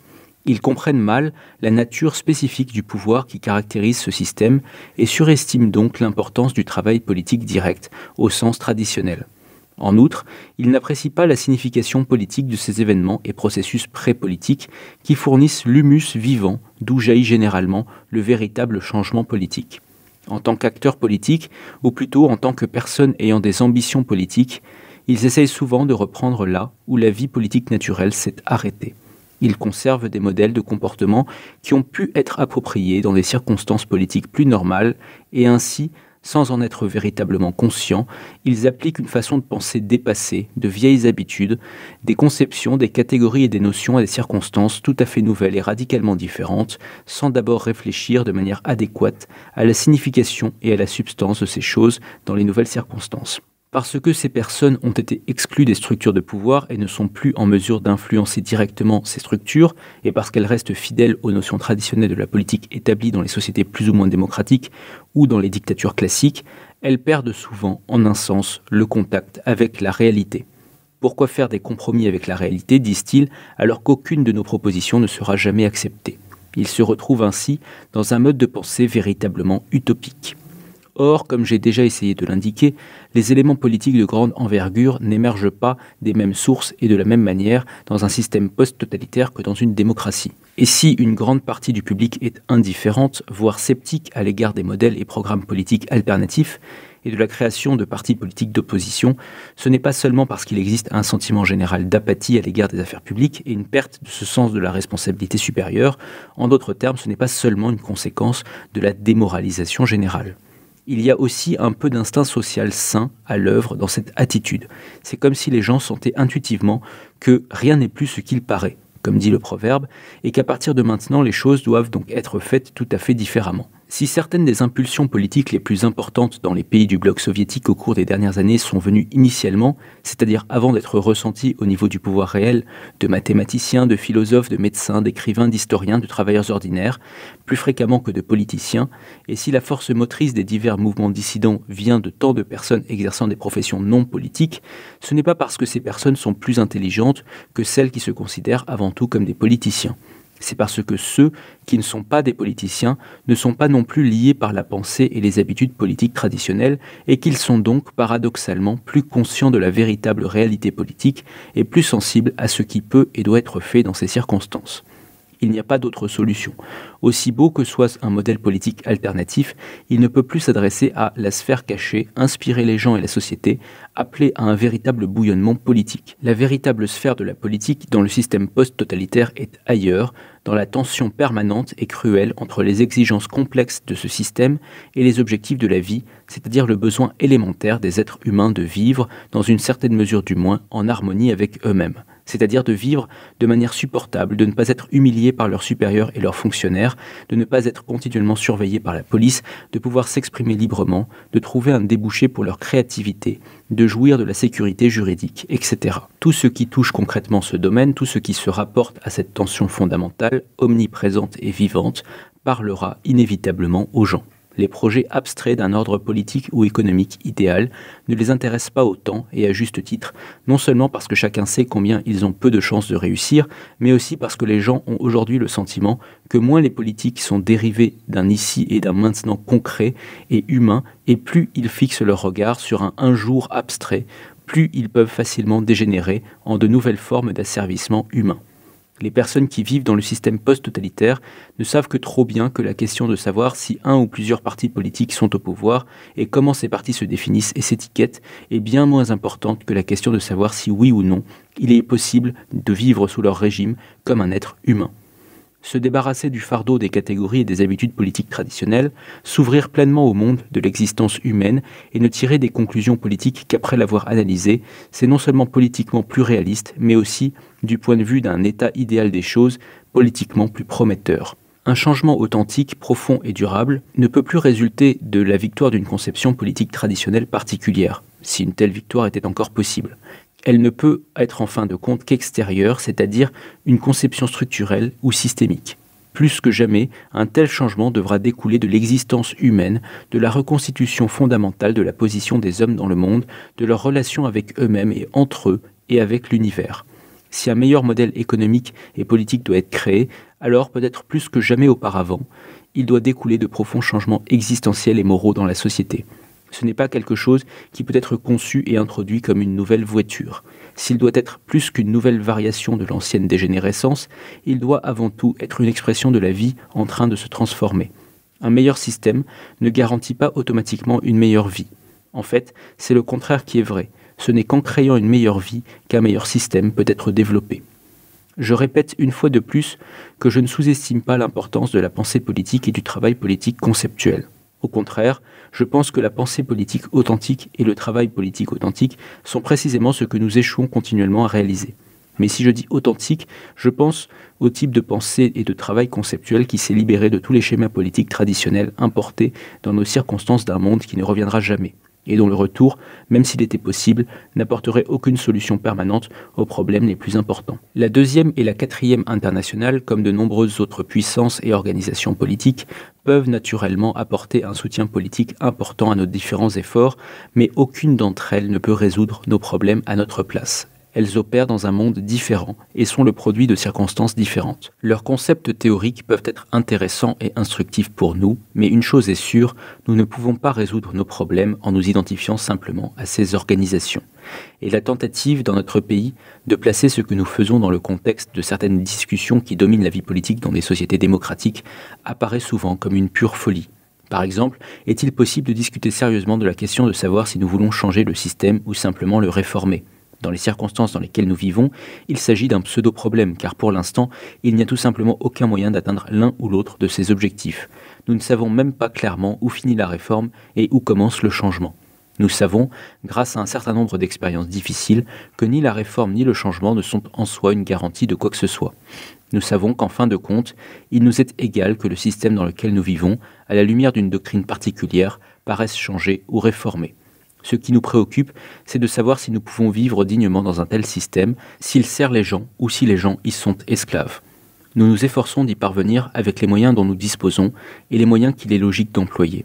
Les journalistes occidentaux, immergés dans les banalités politiques dans lesquelles ils vivent, peuvent qualifier notre approche de trop légaliste, de trop risquée, de trop révisionniste, de contre-révolutionnaire, de bourgeoise, de communiste, ou de trop à droite ou à gauche.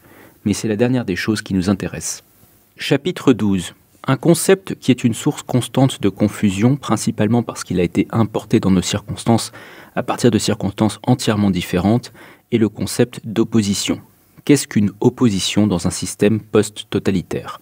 Dans les sociétés démocratiques dotées d'un système de gouvernement parlementaire traditionnel, l'opposition politique est comprise comme une force politique au niveau du pouvoir effectif, le plus souvent un parti ou une coalition de partis qui ne fait pas partie du gouvernement. Elle propose un programme politique alternatif, elle a l'ambition de gouverner et elle est reconnue et respectée par le gouvernement en place comme un élément naturel de la vie politique du pays. Elle cherche à étendre son influence par des moyens politiques et se dispute le pouvoir sur la base de règles juridiques convenues. Outre cette forme d'opposition, il existe le phénomène de l'opposition extra-parlementaire, qui consiste là encore en des forces organisées plus ou moins au niveau du pouvoir réel, mais qui opèrent en dehors des règles créées par ce système et qui emploient des moyens différents de ceux qui sont habituels dans ce cadre. Dans les dictatures classiques, le terme opposition désigne des forces politiques qui ont également présenté un programme politique alternatif. Elles opèrent soit légalement, soit à la limite de la légalité, mais dans tous les cas, elles ne peuvent pas se disputer le pouvoir dans les limites d'une réglementation convenue.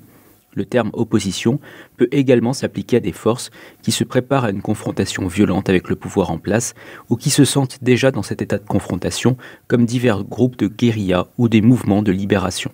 Dans le système post-totalitaire, l'opposition n'existe dans aucun de ces sens. Dans quel sens alors peut-on utiliser ce terme? Premièrement, parfois le terme d'opposition est appliqué, principalement par des journalistes occidentaux, à des personnes ou à des groupes de personnes à l'intérieur de la structure du pouvoir qui se trouvent dans un état de conflit caché avec les plus hautes autorités. Les raisons de ce conflit peuvent être certaines différences, pas très marquées naturellement, de nature conceptuelle, mais le plus souvent il s'agit tout simplement d'une aspiration au pouvoir ou d'une antipathie personnelle envers ceux qui représentent le pouvoir à l'instant T. Deuxièmement, l'opposition peut également être comprise comme tout ce qui a ou peut avoir un effet politique indirect, dans le sens déjà mentionné, c'est-à-dire tout ce par quoi le système post-totalitaire se sent menacé, ce qui signifie en fait tout ce par quoi il est menacé.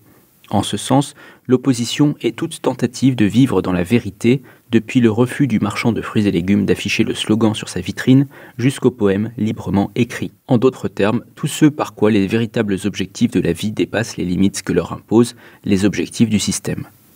Troisièmement, plus fréquemment cependant, l'opposition est généralement comprise, encore une fois en grande partie par les journalistes occidentaux, comme des groupes de personnes qui rendent publiques leurs positions non conformistes et leurs opinions critiques, qui ne cachent pas leurs pensées indépendantes et qui, à un degré plus ou moins important, se considèrent comme une force politique.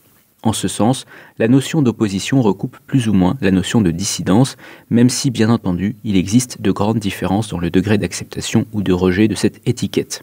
Cela dépend non seulement de la mesure dans laquelle ces personnes comprennent leur pouvoir en tant que force directement politique et du fait qu'elles aient ou non l'ambition de participer au pouvoir réel, mais aussi de la manière dont chacune d'entre elles comprend la notion d'opposition. Voici à nouveau un exemple. Dans sa déclaration initiale, la Charte 77 soulignait qu'elle n'était pas une opposition car elle n'avait pas l'intention de présenter un programme politique alternatif. Elle considérait sa mission comme quelque chose de tout à fait différent car elle n'avait pas présenté de programme de ce type. En fait, si la présentation d'un programme alternatif définit la nature d'une opposition dans les États post-totalitaires, alors la charte ne peut pas être considérée comme une opposition. Le gouvernement tchécoslovaque a cependant considéré dès le début la Charte 77 comme une association expressément oppositionnelle et l'a traitée en conséquence. Cela signifie que le gouvernement, et c'est normal, comprend le terme opposition plus ou moins comme je l'ai déjà défini, c'est-à-dire comme quelque chose qui parvient à éviter la manipulation totale et qui par conséquent nie le principe selon lequel le système a un droit absolu sur l'individu.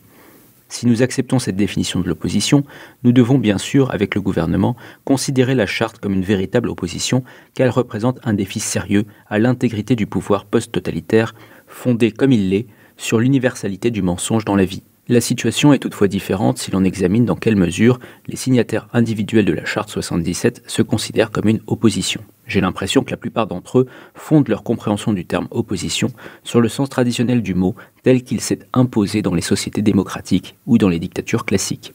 Ils comprennent donc l'opposition, même en Tchécoslovaquie, comme une force politiquement définie qui, bien qu'elle n'agisse pas au niveau du pouvoir réel, et encore moins dans le cadre de certaines règles respectées par le gouvernement, ne rejetterait pas pour autant l'opportunité de participer au pouvoir réel, parce qu'elle a en un sens un programme politique alternatif dont les partisans sont prêts à accepter la responsabilité politique directe.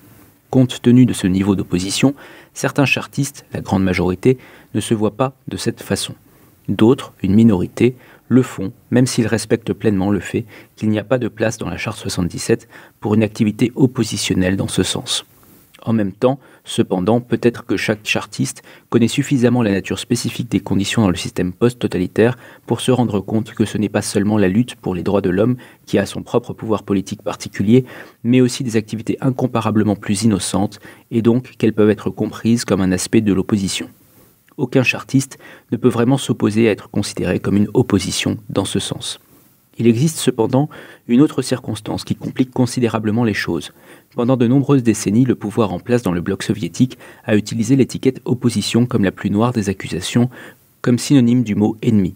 Qualifier quelqu'un de membre de l'opposition revient à dire qu'il essaie de renverser le gouvernement et de mettre fin au socialisme, naturellement à la solde des impérialistes. Il est arrivé que cette étiquette mène tout droit à la potence et cela n'encourage évidemment pas les gens à s'appliquer la même étiquette à eux-mêmes. De plus, ce n'est qu'un mot, et ce qui est réellement fait est plus important que la façon dont on l'étiquette. La dernière raison pour laquelle beaucoup rejettent un tel terme est qu'il y a quelque chose de négatif dans la notion d'opposition. Les personnes qui se définissent ainsi le font par rapport à une position antérieure.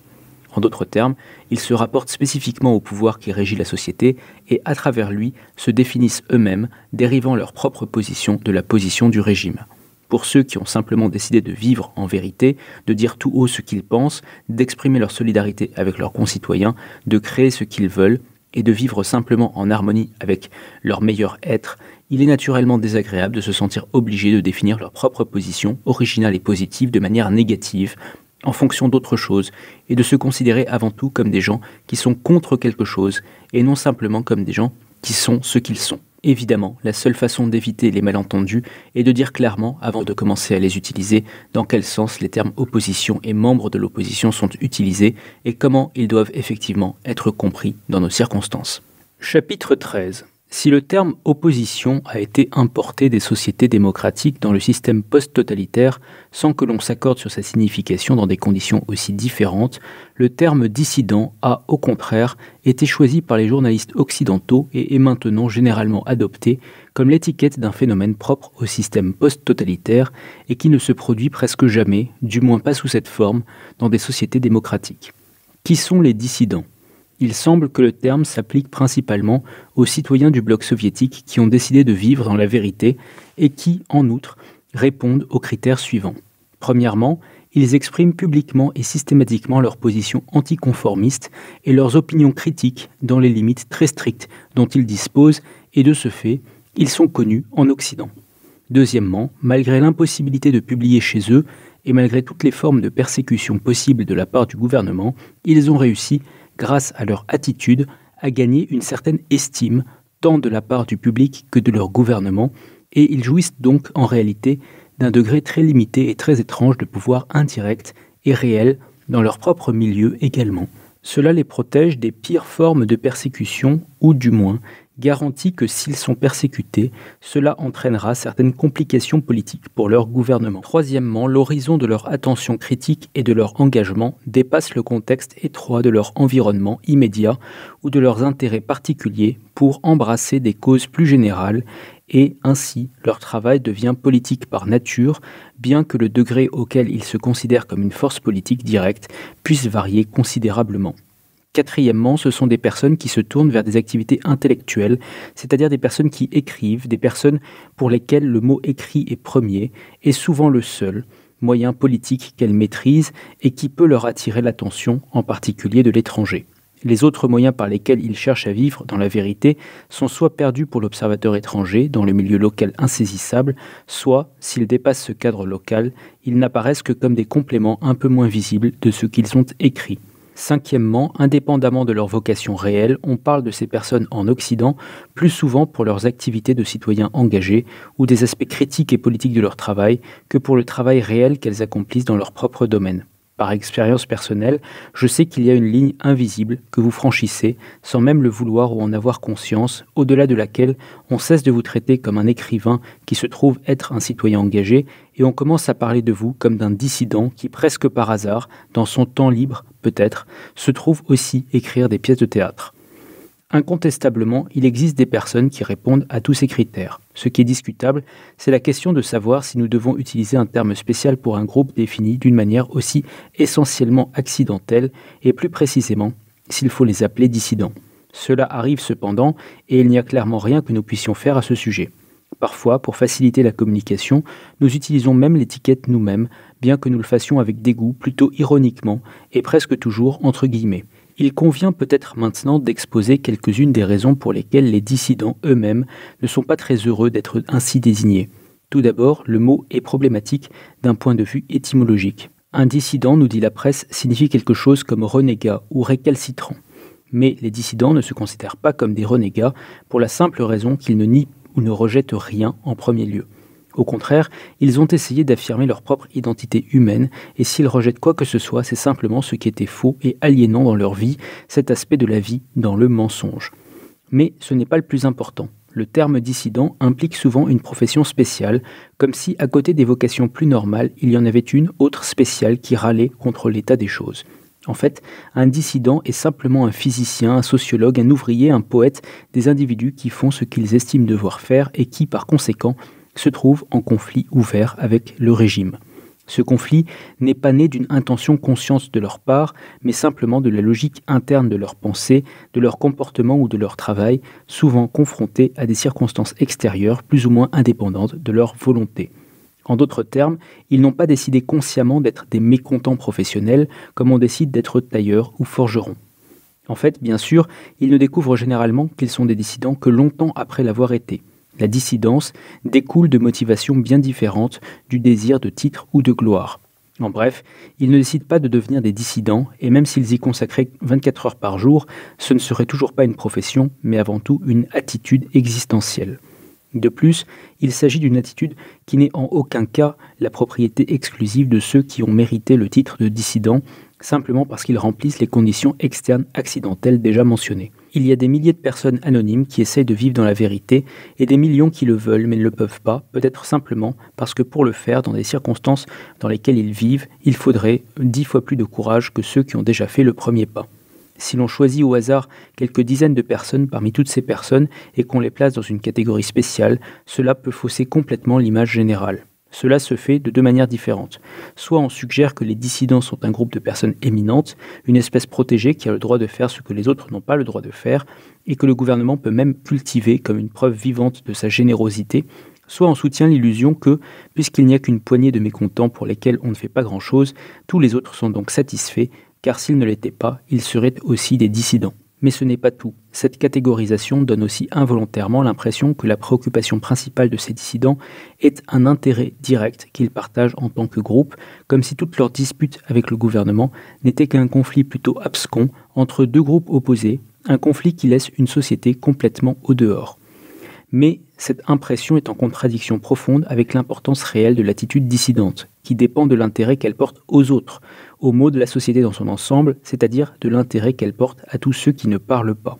Si les dissidents ont une quelconque autorité, et s'ils n'ont pas été exterminés il y a longtemps comme des insectes exotiques apparus là où ils n'avaient rien à faire, ce n'est pas parce que le gouvernement tient en respect ce groupe exclusif et ses idées exclusives, mais parce qu'il est parfaitement conscient du pouvoir politique potentiel que représente le fait de vivre en vérité enraciné dans la sphère cachée et bien conscient aussi du type de monde dont la dissidence est issue et du monde auquel elle s'adresse. Le monde humain quotidien, le monde de la tension quotidienne entre les objectifs de la vie et les objectifs du système. Peut-on en avoir une meilleure preuve que l'action du gouvernement après l'apparition de la Charte 77 lorsqu'il a lancé une campagne pour obliger la nation entière à déclarer que la Charte 77 était fausse? Ces millions de signatures ont prouvé, entre autres, que c'était exactement le contraire qui était vrai. Les organes politiques et la police n'accordent pas une si grande attention aux dissidents, ce qui peut donner l'impression que le gouvernement les craint comme il pourrait craindre une clique de pouvoir alternative, parce qu'ils sont en fait une telle clique de pouvoir, mais parce qu'ils sont des gens ordinaires avec des préoccupations ordinaires qui ne diffèrent des autres que par le fait qu'ils disent tout haut ce que les autres ne peuvent pas dire ou ont peur de dire. J'ai déjà mentionné l'influence politique de Solzhenitsyn. Elle ne réside pas dans un pouvoir politique exclusif qu'il possède en tant qu'individu, mais dans l'expérience de ces millions de victimes du goulag qu'il a simplement amplifié et communiqué à des millions d'autres personnes de bonne volonté. Institutionnaliser une catégorie sélectionnée de dissidents, connus ou éminents, signifie en fait nier l'aspect moral le plus intrinsèque de leur activité. Comme nous l'avons vu, le mouvement dissident est issu du principe d'égalité, fondé sur l'idée que les droits de l'homme et des libertés sont indivisibles. Après tout, aucun dissident connu ne s'est uni à KOR pour défendre des travailleurs inconnus. Et n'est-ce pas précisément pour cette raison qu'ils sont devenus des dissidents connus? Et les dissidents connus ne se sont-ils pas unis à la Charte 77 après avoir été réunis pour défendre des musiciens inconnus et ne se sont-ils pas unis à la charte précisément avec eux et ne sont-ils pas devenus des dissidents connus précisément à cause de cela? C'est vraiment un paradoxe cruel que plus certains citoyens se lèvent pour défendre d'autres citoyens, plus ils sont étiquetés avec un mot qui les sépare en fait de ces autres citoyens. Cette explication, je l'espère, fera comprendre la signification des guillemets que j'ai mis autour du mot dissident tout au long de cet essai.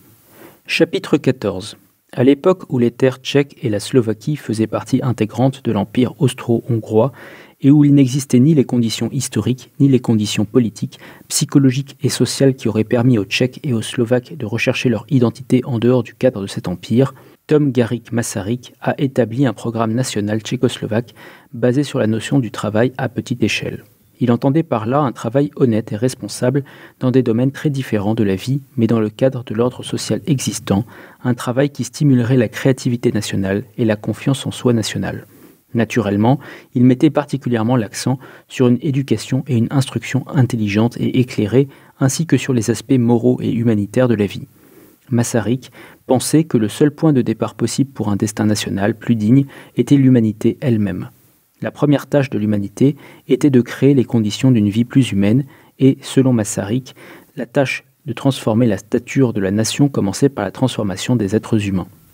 Cette notion de travail pour le bien de la nation a pris racine dans la société tchécoslovaque et, à bien des égards, elle a été couronnée de succès et est toujours vivante aujourd'hui. À côté de ceux qui exploitent cette notion comme une excuse sophistiquée pour collaborer avec le régime, nombreux sont ceux aujourd'hui encore qui défendent sincèrement cet idéal et qui, dans certains domaines du moins, peuvent faire état de réalisations incontestables. Il est difficile de dire à quel point les choses seraient pires s'il n'y avait pas de nombreux travailleurs qui refusent tout simplement d'abandonner et essaient constamment de faire de leur mieux, payant un minimum inévitable pour vivre dans le mensonge afin de pouvoir donner le meilleur d'eux-mêmes aux besoins authentiques de la société.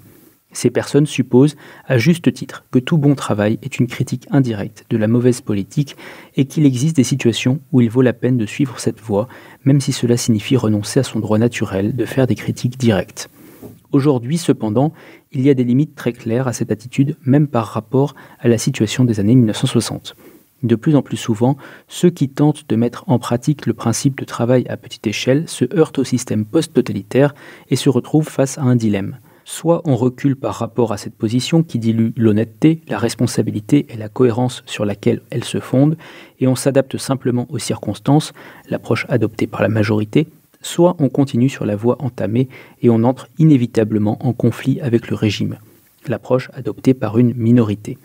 Si la notion de travail à petite échelle n'a jamais été conçue comme un impératif de survie à tout prix dans la structure sociale et politique existante, auquel cas les individus qui se sont laissés exclure de cette structure apparaîtraient nécessairement comme ayant renoncé à travailler pour la nation, elle est aujourd'hui encore moins significative il n'y a pas de modèle général de comportement, c'est-à-dire de manière nette et universelle, valable, de déterminer le moment où le travail à petite échelle cesse d'être pour le bien de la nation et devient nuisible à la nation.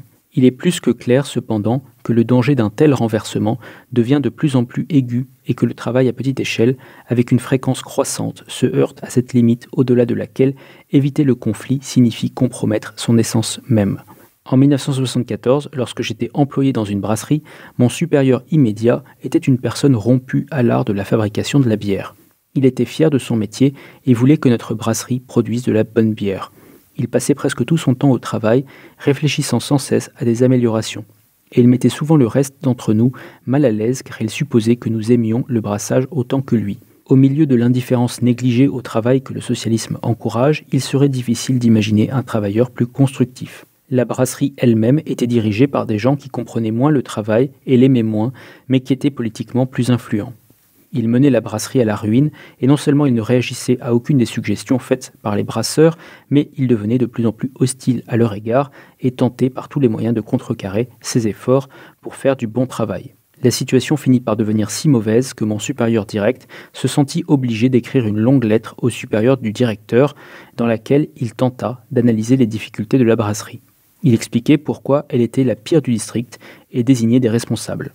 Sa voix aurait pu être entendue. Le directeur, qui était puissant sur le plan politique, mais ignorait tout de la bière, un homme qui détestait les travailleurs et était enclin à l'intrigue, aurait pu être remplacé et les conditions dans la brasserie auraient pu être améliorées sur la base de ses suggestions. Si cela s'était produit, cela aurait été un exemple parfait de travail à petite échelle en action. Malheureusement, c'est exactement le contraire qui s'est produit. Le directeur de la brasserie, qui était membre du comité du district du Parti communiste, avait des amis en haut lieu et il a fait en sorte que la situation soit résolue en sa faveur. L'analyse de mon supérieur fut qualifiée de document diffamatoire et mon supérieur lui-même fut qualifié de saboteur politique il a été expulsé de la brasserie et transféré dans une autre où on lui a confié un travail ne nécessitant aucune compétence. Ici, la notion de travail à petite échelle s'est heurtée au mur du système post-totalitaire. En disant la vérité, mon supérieur est sorti du rang, a enfreint des règles, s'est mis à l'écart et s'est retrouvé sous-citoyen, stigmatisé comme un ennemi. Il pouvait désormais dire ce qu'il voulait, mais il ne pouvait jamais par principe espérer être entendu il était devenu le dissident de la brasserie de la Bohème orientale. Je pense qu'il s'agit là d'un cas exemplaire qui, d'un autre point de vue, illustre ce que j'ai déjà dit dans la section précédente. On ne devient pas un dissident parce qu'on décide un jour d'embrasser cette carrière inhabituelle. On y est projeté par son sens des responsabilités personnelles, combiné à un ensemble complexe de circonstances extérieures. Vous êtes exclu des structures existantes et placé en position de conflit avec elles. Cela commence par une tentative de bien faire son travail et se termine par le fait d'être considéré comme un ennemi de la société. C'est pourquoi notre situation n'est pas comparable à celle de l'Empire austro-hongrois, lorsque la nation tchèque, dans la pire période de l'absolutisme de Bach, n'avait qu'un seul véritable dissident, Karel Havlek, qui a été emprisonné à Brixen. Aujourd'hui, si nous ne voulons pas être snobs, nous devons admettre que les dissidents se trouvent à tous les coins de rue. Reprocher aux dissidents d'avoir abandonné le travail à petite échelle est tout simplement absurde. La dissidence n'est pas une alternative à la notion de Masaryk, elle en est fréquemment la seule issue possible. Je dis fréquemment afin de souligner que ce n'est pas toujours le cas. Je suis loin de croire que les seules personnes décentes et responsables sont celles qui se trouvent en désaccord avec les structures sociales et politiques existantes. Après tout, le brasseur a peut-être gagné sa bataille. Condamner ceux qui ont conservé leur position simplement parce qu'ils l'ont conservée, c'est-à-dire parce qu'ils ne sont pas des dissidents, serait tout aussi absurde que de les citer en exemple aux dissidents. En tout cas, cela contredit toute l'attitude dissidente considérée comme une tentative de vivre dans la vérité. Si l'on juge le comportement humain non pas en fonction de ce qu'il est et s'il est bon ou non, mais en fonction des circonstances personnelles auxquelles cette tentative l'a conduit. Chapitre 15. La tentative de notre marchand de légumes de vivre en vérité peut se limiter à ne pas faire certaines choses. Il décide par exemple de ne pas mettre de drapeau à sa fenêtre alors que sa seule motivation pour les mettre aurait été de ne pas être dénoncé par le gardien de la maison. Il ne vote pas aux élections parce qu'il les considère comme faussées. Il ne cache pas ses opinions à ses supérieurs. En d'autres termes, il peut ne pas aller plus loin que le simple refus de se plier à certaines exigences du système, ce qui n'est évidemment pas une démarche anodine. Mais cela peut aller plus loin. Le marchand de légumes peut commencer à faire quelque chose de concret, quelque chose qui va au-delà d'une réaction personnelle d'autodéfense contre la manipulation, quelque chose qui manifeste son nouveau sens de la responsabilité. Il peut par exemple organiser ses collègues marchands de légumes pour qu'ils agissent ensemble pour défendre leurs intérêts. Il peut écrire des lettres à diverses institutions attirant leur attention sur les cas de désordre et d'injustice autour de lui. Il peut chercher de la littérature non officielle, la copier et la prêter à des amis. Si ce que j'ai appelé vivre dans la vérité est un point de départ existentiel de base et bien sûr potentiellement politique, pour toutes ces initiatives de citoyens indépendants et ces mouvements dissidents ou d'opposition, cela ne signifie pas que toute tentative de vivre dans la vérité appartient automatiquement à cette catégorie. Au contraire, dans son sens le plus original et le plus large, Vivre dans la vérité couvre un vaste territoire dont les limites extérieures sont vagues et difficiles à cartographier, un territoire rempli de modestes expressions de la volonté humaine, dont la grande majorité restera anonyme et dont l'impact politique ne sera probablement jamais ressenti ou décrit plus concrètement que comme une simple partie d'un climat ou d'une humeur sociale. La plupart de ces expressions restent des révoltes élémentaires contre la manipulation. Il suffit de redresser l'échine et de vivre plus dignement en tant qu'individu. ici et là, grâce à la nature, aux présupposés et aux professions de certaines personnes, mais aussi grâce à un certain nombre de circonstances accidentelles telles que la spécificité du milieu local, les amis, etc., une initiative plus cohérente et plus visible peut émerger de ce vaste arrière-pays anonyme, une initiative qui transcende la simple révolte individuelle et se transforme en un travail plus conscient, plus structuré et plus volontaire le point où vivre dans la vérité cesse d'être une simple négation de la vie dans le mensonge et devient articulé d'une manière particulière, et le point où naît quelque chose que l'on pourrait appeler la vie spirituelle, sociale et politique indépendante de la société. Cette vie indépendante n'est pas séparée du reste de la vie, vie dépendante, par une ligne de démarcation bien définie.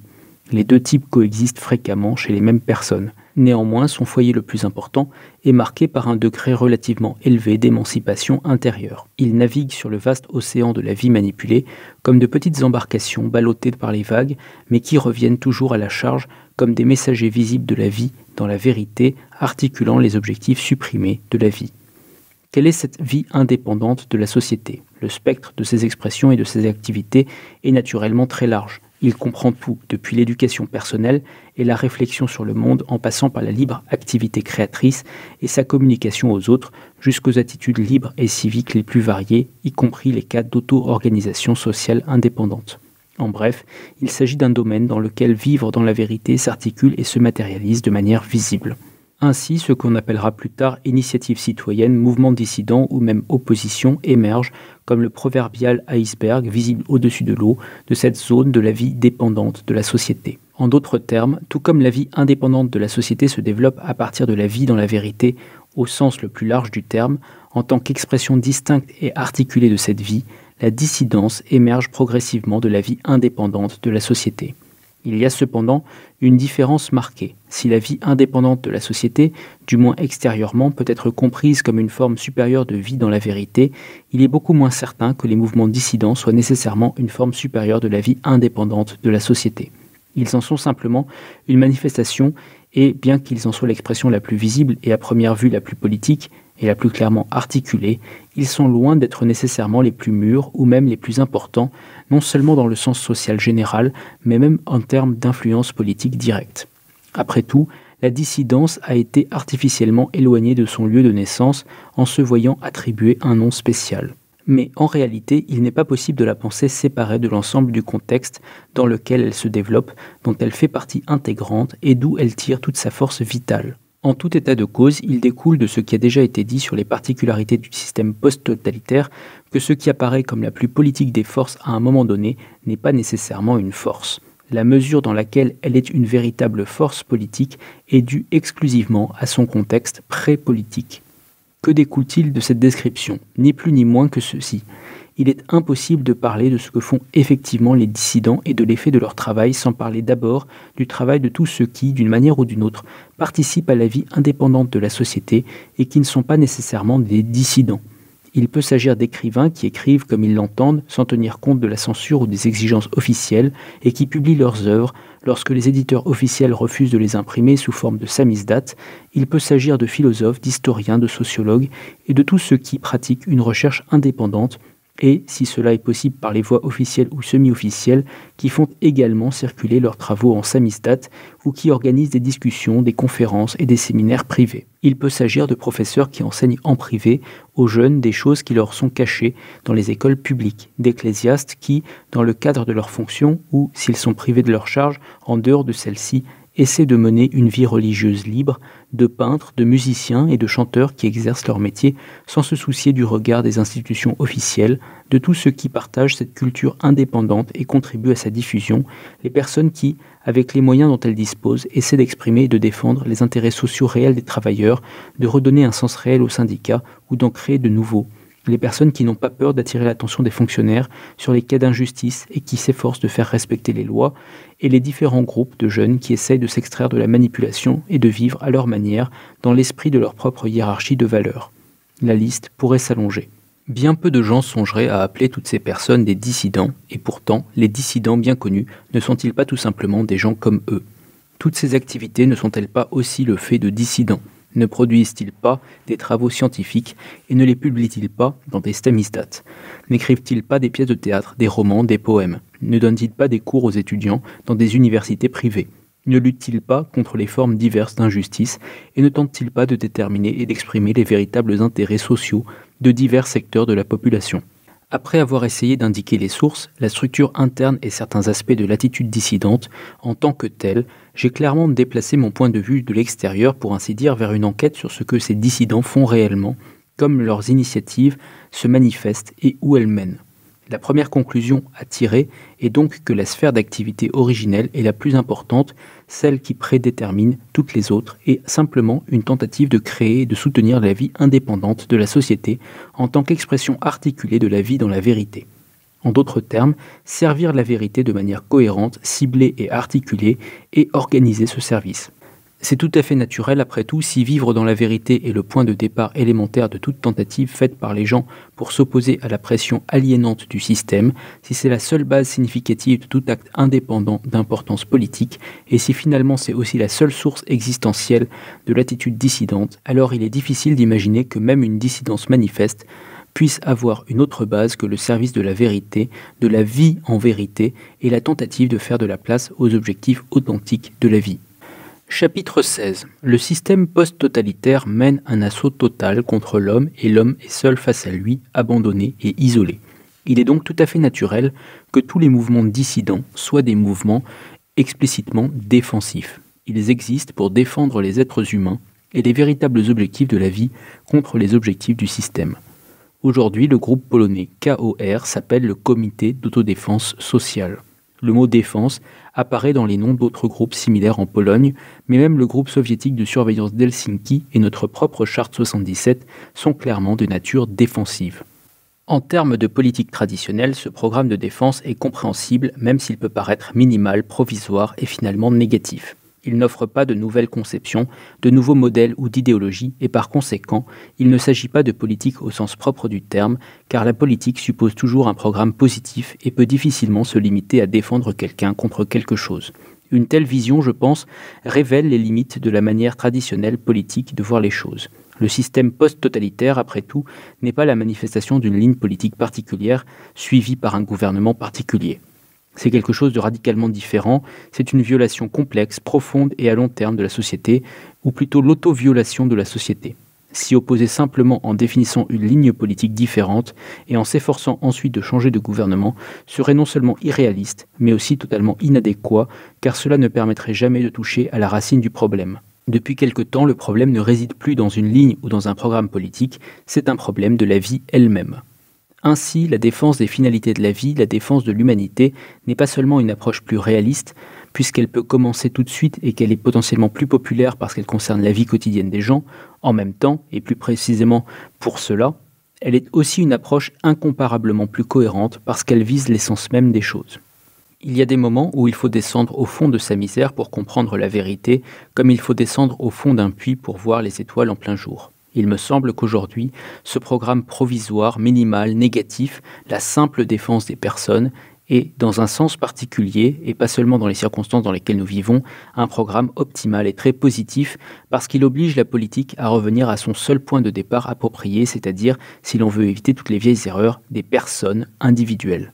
Dans les sociétés démocratiques, où la violence faite aux êtres humains n'est pas aussi évidente et cruelle, cette révolution fondamentale de la politique n'a pas encore eu lieu et certaines choses devront probablement y empirer avant que le besoin urgent de cette révolution ne se reflète dans la politique. Dans notre monde, précisément en raison de la misère dans laquelle nous nous trouvons, il semblerait que la politique ait déjà subi cette transformation la préoccupation centrale de la pensée politique n'est plus la vision abstraite d'un modèle positif qui s'auto-régénère, et bien sûr des pratiques politiques opportunistes qui sont le revers de la même médaille, mais plutôt les personnes qui, jusqu'à présent, n'ont fait qu'être asservies par ces modèles et leurs pratiques. Toute société, bien sûr, nécessite un certain degré d'organisation. Mais si cette organisation doit être au service des gens et non l'inverse, alors les gens devront être libérés et un espace devra être créé pour qu'ils puissent s'organiser de manière significative.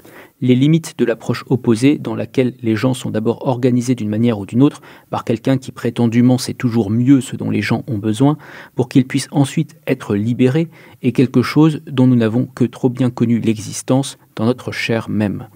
En résumé, la plupart des gens qui sont trop liés à la pensée politique traditionnelle voient les faiblesses des mouvements dissidents dans leur caractère purement défensif. A l'inverse, je considère que c'est là leur plus grande force. Je crois que c'est précisément là que ces mouvements supplantent la politique politicienne et ses programmes qui peuvent sembler inadéquats. Chapitre 17 dans les mouvements dissidents du bloc soviétique, la défense des êtres humains prend généralement la forme d'une défense des droits de l'homme et des droits civils tels qu'ils sont inscrits dans divers documents officiels comme la Déclaration universelle des droits de l'homme, les pactes internationaux relatifs aux droits de l'homme, l'acte final de l'accord d'Helsinki et les constitutions des différents États. Ces mouvements ont pour objectif de défendre toute personne poursuivie pour avoir agi dans l'esprit de ses droits, et ils agissent à leur tour dans le même esprit dans leur travail, en insistant sans cesse pour que le régime reconnaisse et respecte les droits de l'homme et du citoyen, et en attirant l'attention sur les domaines de la vie où ce n'est pas le cas. Leur travail est donc basé sur le principe de l'égalité. Ils opèrent publiquement et ouvertement, insistant non seulement sur le fait que leur activité est conforme à la loi, mais aussi que le respect de la loi est l'un de leurs principaux objectifs. Ce principe de l'égalité, qui constitue à la fois le point de départ et le cadre de leurs activités, est commun à tous les groupes dissidents du bloc soviétique, même si les groupes individuels n'ont jamais élaboré d'accord formel sur ce point. Cette circonstance soulève une question importante. Pourquoi, dans des conditions où l'abus de pouvoir généralisé et arbitraire est la règle, y a-t-il une acceptation aussi générale et spontanée du principe de l'égalité? Au niveau primaire, cette insistance sur la légalité est l'expression naturelle des conditions spécifiques qui existent dans le système post-totalitaire et la conséquence d'une compréhension élémentaire de cette spécificité. S'il n'y a par essence que deux façons de lutter pour une société libre, c'est-à-dire par des moyens légaux et par la révolte armée ou non, il devrait être immédiatement évident que cette dernière alternative est inappropriée dans le système post-totalitaire. La révolte est appropriée lorsque les conditions sont clairement et ouvertement en mouvement, pendant une guerre par exemple, ou dans des situations où les conflits sociaux ou politiques atteignent leur paroxysme. Elle est appropriée dans une dictature classique qui est soit en train de se mettre en place, soit en train de s'effondrer. En d'autres termes, elle est appropriée lorsque des forces sociales de force comparables, par exemple un gouvernement d'occupation contre une nation luttant pour sa liberté, s'affrontent au niveau du pouvoir réel, ou lorsqu'il existe une distinction claire entre les usurpateurs du pouvoir et la population soumise, ou encore lorsque la société se trouve dans un état de crise ouverte. Les conditions dans le système post-totalitaire, sauf dans des situations extrêmement explosives comme celle de la Hongrie, sont bien sûr exactement le contraire. Elles sont statiques et stables, et les crises sociales, pour la plupart, n'existent que de manière latente, bien qu'elles soient beaucoup plus profondes. La société n'est pas fortement polarisée au niveau du pouvoir politique réel, mais comme nous l'avons vu, les lignes fondamentales du conflit traversent chaque personne. Dans cette situation, aucune tentative de révolte ne peut espérer trouver un minimum de résonance dans le reste de la société parce que cette société est soporifique, submergée par la course à la consommation et entièrement impliquée dans le système post-totalitaire, c'est-à-dire qu'elle y participe et agit en tant qu'agent de son automatisme. Elle trouverait tout simplement inacceptable une forme de révolte elle interpréterait la révolte comme une attaque contre lui-même, et plutôt que de la soutenir dans la révolte, le peuple réagirait très probablement en intensifiant son penchant pour le système, puisque à ses yeux, le système peut au moins garantir une certaine quasi-sécurité. Si l'on ajoute à ce fait que le système post-totalitaire dispose d'un mécanisme complexe de surveillance directe et indirecte sans équivalent dans l'histoire, il est clair que toute tentative de révolte serait non seulement politiquement sans issue, mais aussi techniquement impossible à mener à bien.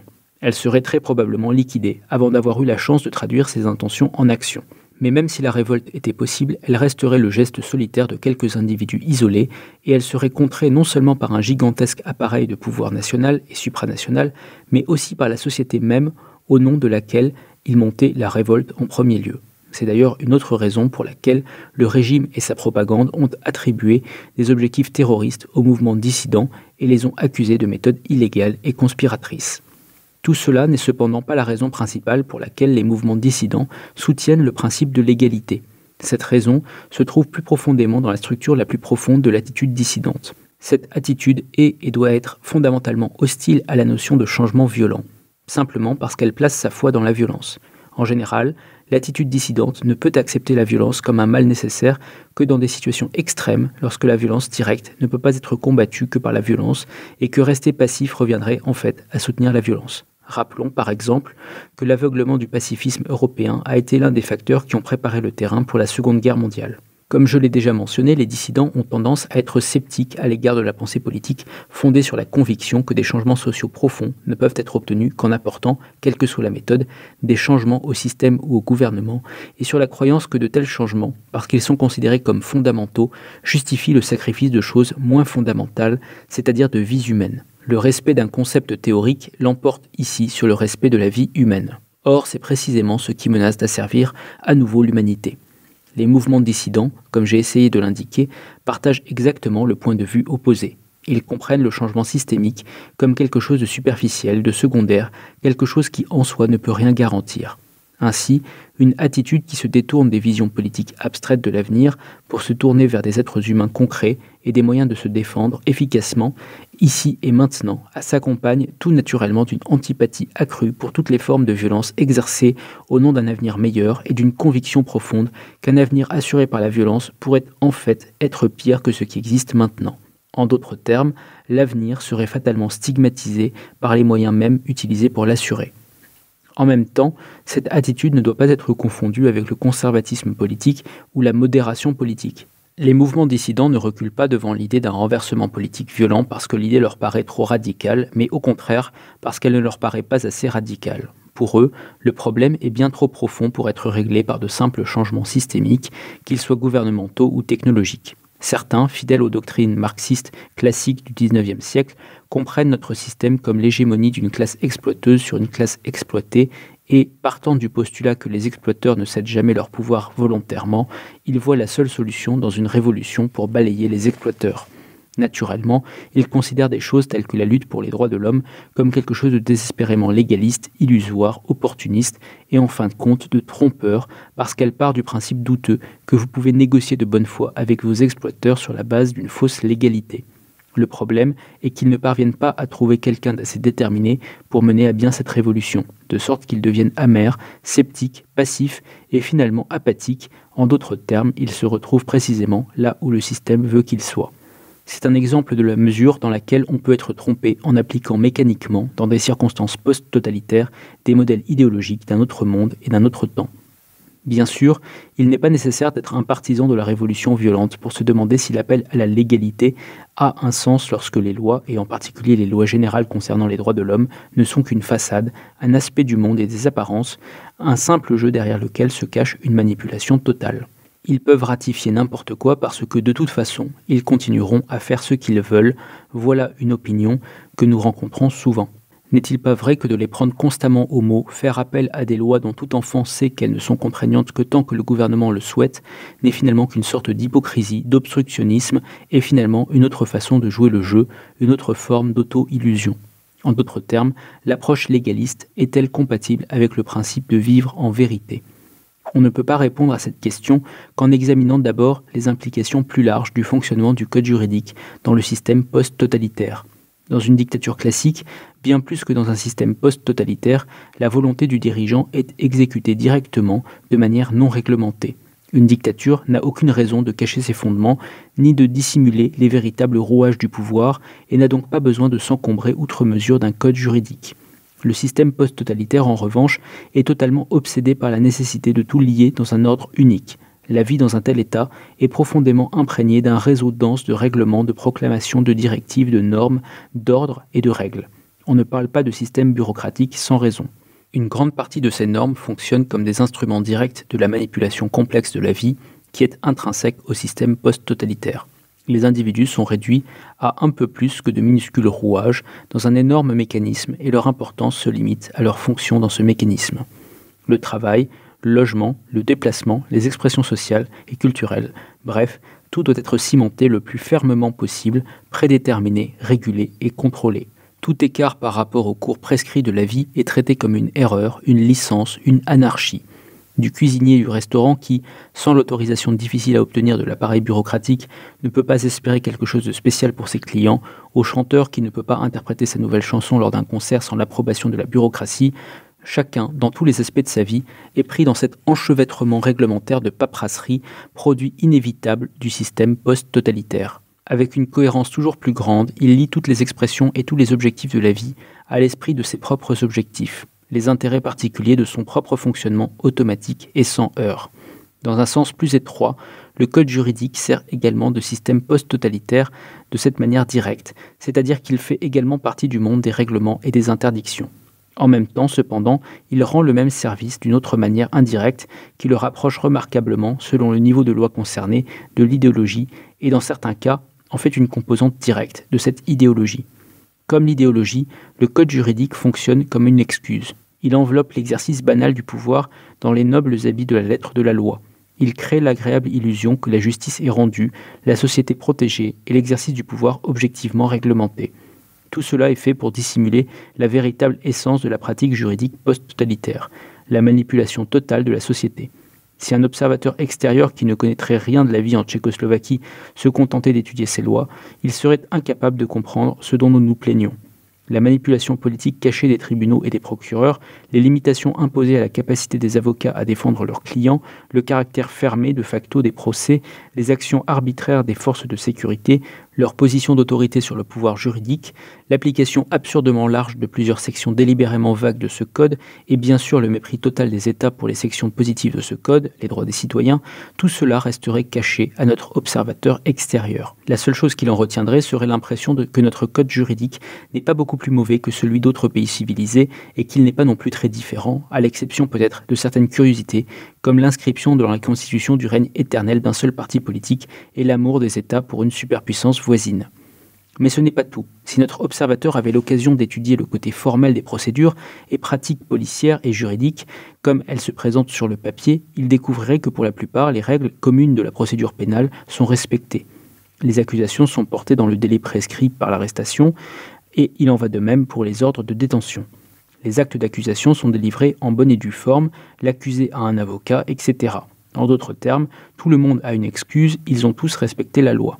Mais en réalité, ils ont cruellement et inutilement ruiné la vie d'un jeune, peut-être pour la seule raison qu'il a fait des copies samizdat d'un roman écrit par un écrivain interdit, ou parce que la police a délibérément falsifié son témoignage, comme tout le monde le sait, du juge à l'accusé.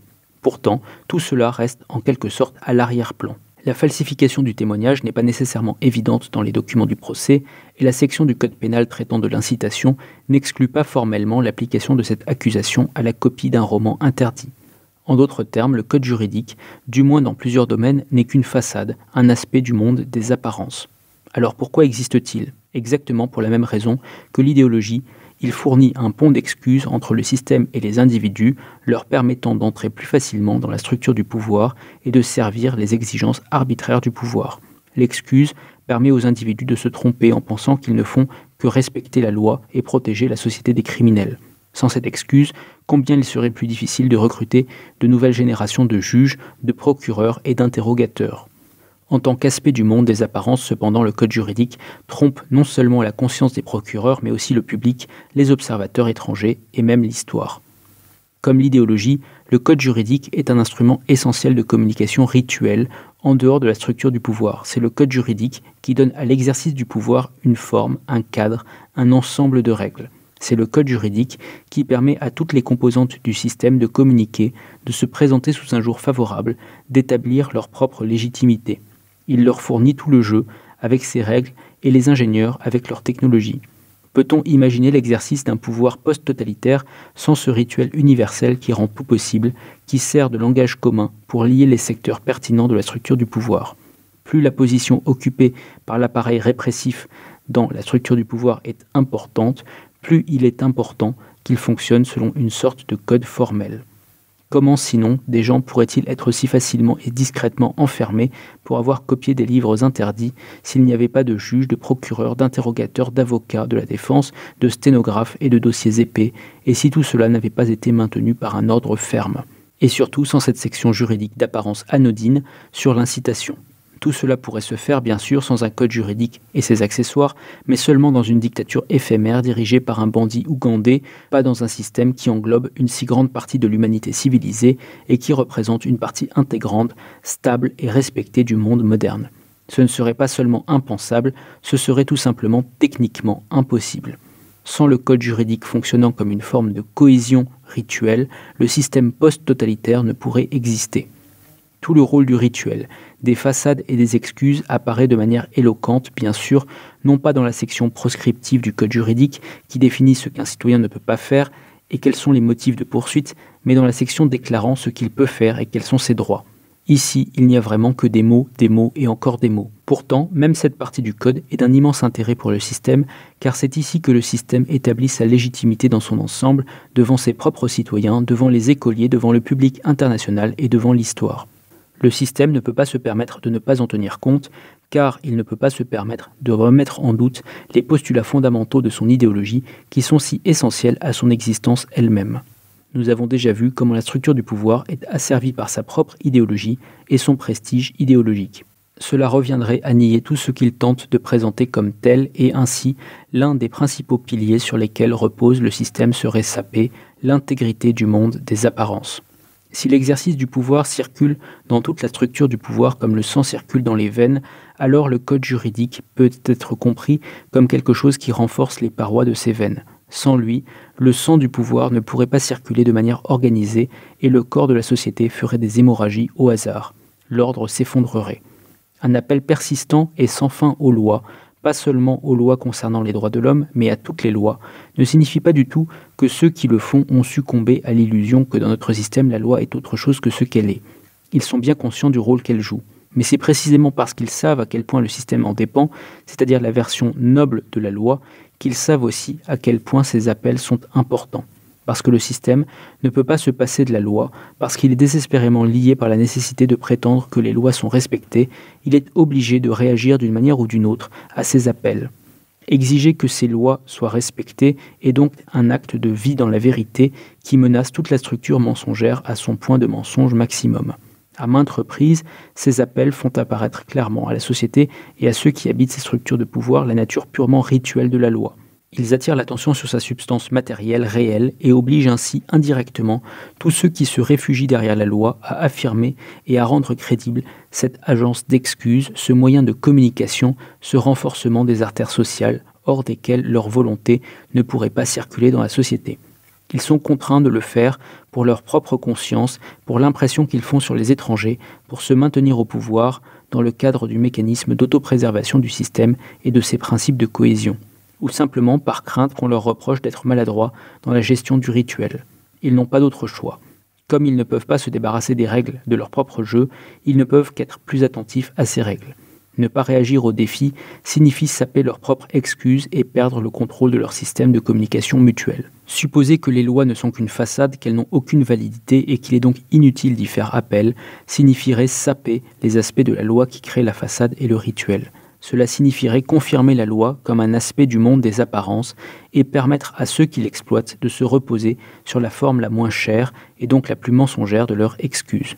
J'ai souvent vu des policiers, des procureurs ou des juges, s'ils avaient affaire à un chartiste expérimenté ou un avocat courageux, et s'ils étaient exposés à l'attention du public, en tant qu'individus ayant un nom, non plus protégé par l'anonymat de l'appareil, commencer soudainement et avec anxiété à faire particulièrement attention à ce qu'aucune fissure n'apparaisse dans le rituel.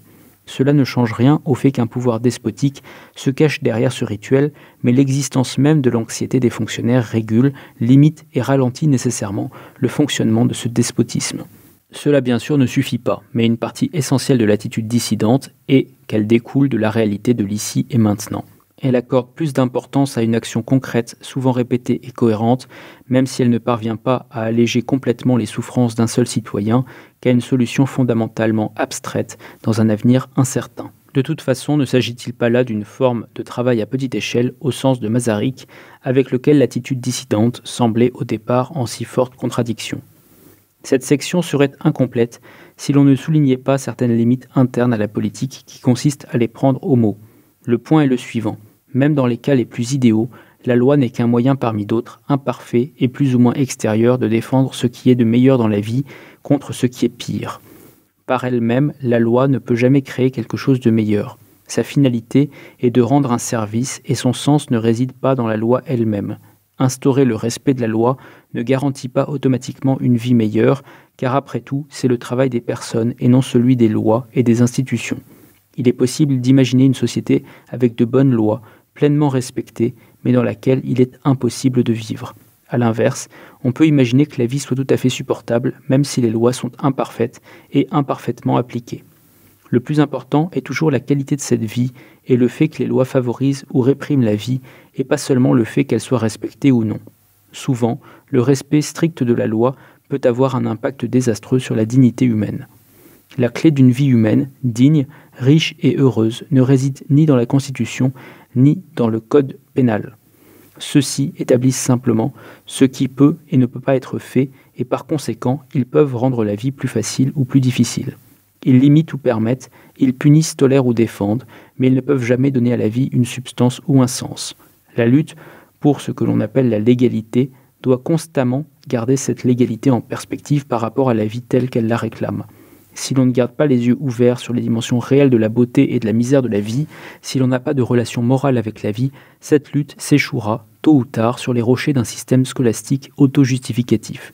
Sans le vouloir vraiment, on deviendrait ainsi de plus en plus semblable à l'observateur qui ne parvient à tirer des conclusions sur notre système que sur la base de documents d'essai et qui est satisfait si toutes les règles appropriées ont été observées. Chapitre 18 si le travail de base des mouvements dissidents est de servir la vérité, c'est-à-dire de servir les véritables objectifs de la vie, et si cela se développe nécessairement en une défense des individus et de leur droit à une vie libre et vraie, c'est-à-dire une défense des droits de l'homme et une lutte pour le respect des lois, alors une autre étape de cette approche, peut-être l'étape la plus mature jusqu'à présent, est ce que Vaclav Benda a appelé le développement de structures parallèles, ou polices parallèles. Lorsque ceux qui ont décidé de vivre dans la vérité se sont vus refuser toute influence directe sur les structures sociales existantes, sans parler de la possibilité d'y participer, et lorsque ces personnes commencent à créer ce que j'ai appelé la vie indépendante de la société, cette vie indépendante commence d'elle-même à se structurer d'une certaine manière. Parfois, il n'y a que des indications très embryonnaires de ce processus de structuration. À d'autres moments, les structures sont déjà assez bien développées. Leur genèse et leur évolution sont inséparables du phénomène de la dissidence, même si elles dépassent largement le domaine d'activité défini que désigne habituellement ce terme. Quelles sont ces structures?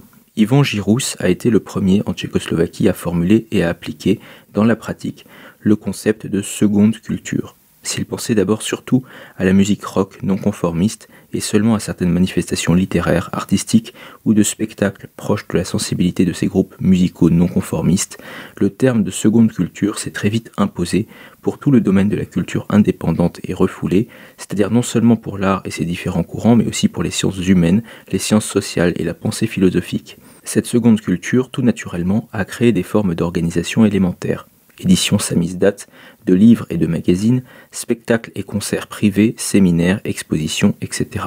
En Pologne, tout cela est beaucoup plus développé, il y a des maisons d'édition indépendantes et beaucoup plus de périodiques, même politiques, ils ont des moyens de prolifération autres que les copies carbone que nous utilisons, et ainsi de suite. En Union soviétique, le samizdat a une plus longue tradition et ses formes sont évidemment très différentes. La culture est donc une sphère dans laquelle les structures parallèles peuvent être observées dans leur forme la plus développée. Benda réfléchit bien sûr à des formes potentielles ou embryonnaires de telles structures dans d'autres sphères également, d'un réseau d'information parallèle à des formes d'éducation parallèle, universités privées, des syndicats parallèles, des contacts parallèles avec l'étranger, jusqu'à une sorte d'hypothèse sur une économie parallèle. Sur la base de ces structures parallèles, il développe ensuite la notion de police parallèle ou d'État, ou plutôt il voit dans ces structures les rudiments d'une telle police. À un certain stade de son développement, la vie indépendante de la société et les mouvements dissidents ne peuvent éviter un certain degré d'organisation et d'institutionnalisation. Il s'agit d'un développement naturel, et à moins que cette vie indépendante de la société ne soit d'une manière ou d'une autre radicalement supprimée et éliminée, la tendance s'accentuera.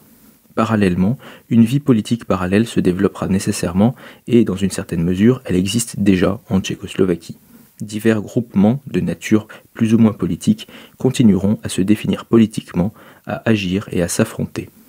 Ces structures parallèles, on peut le dire, représentent les expressions les plus articulées jusqu'à présent de la vie au sein de la vérité. L'une des tâches les plus importantes que les mouvements dissidents se sont fixées est de les soutenir et de les développer.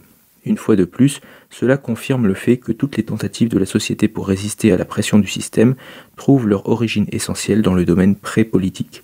Car qu'est-ce que des structures parallèles sinon un espace où l'on peut vivre une vie différente, une vie en harmonie avec ses propres objectifs et qui, à son tour, se structure en harmonie avec ses objectifs.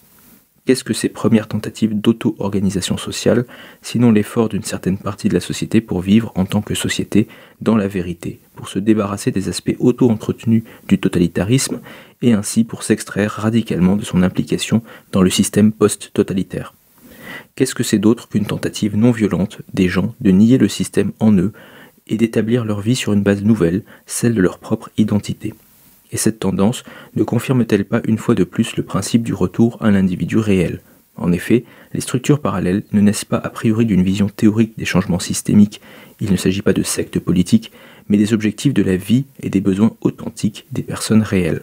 En fait, tous les changements éventuels dans le système, ceux que nous pouvons observer ici dans leur forme rudimentaire, se sont produits, pour ainsi dire de facto, d'en bas, parce que la vie les y a contraints, et non pas parce qu'ils sont arrivés avant la vie en priorité par rapport à la vie, la dirigeant d'une manière ou d'une autre en lui imposant un changement.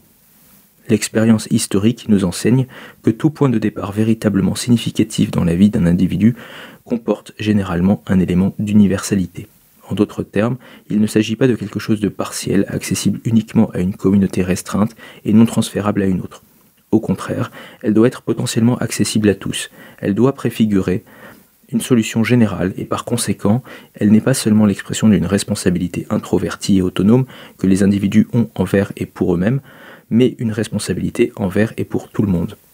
Il serait donc tout à fait erroné de comprendre les structures parallèles et la police parallèle comme un repli dans un ghetto et comme un acte d'isolement, ne s'adressant qu'au bien-être de ceux qui ont décidé de cette voie et qui sont indifférents au reste.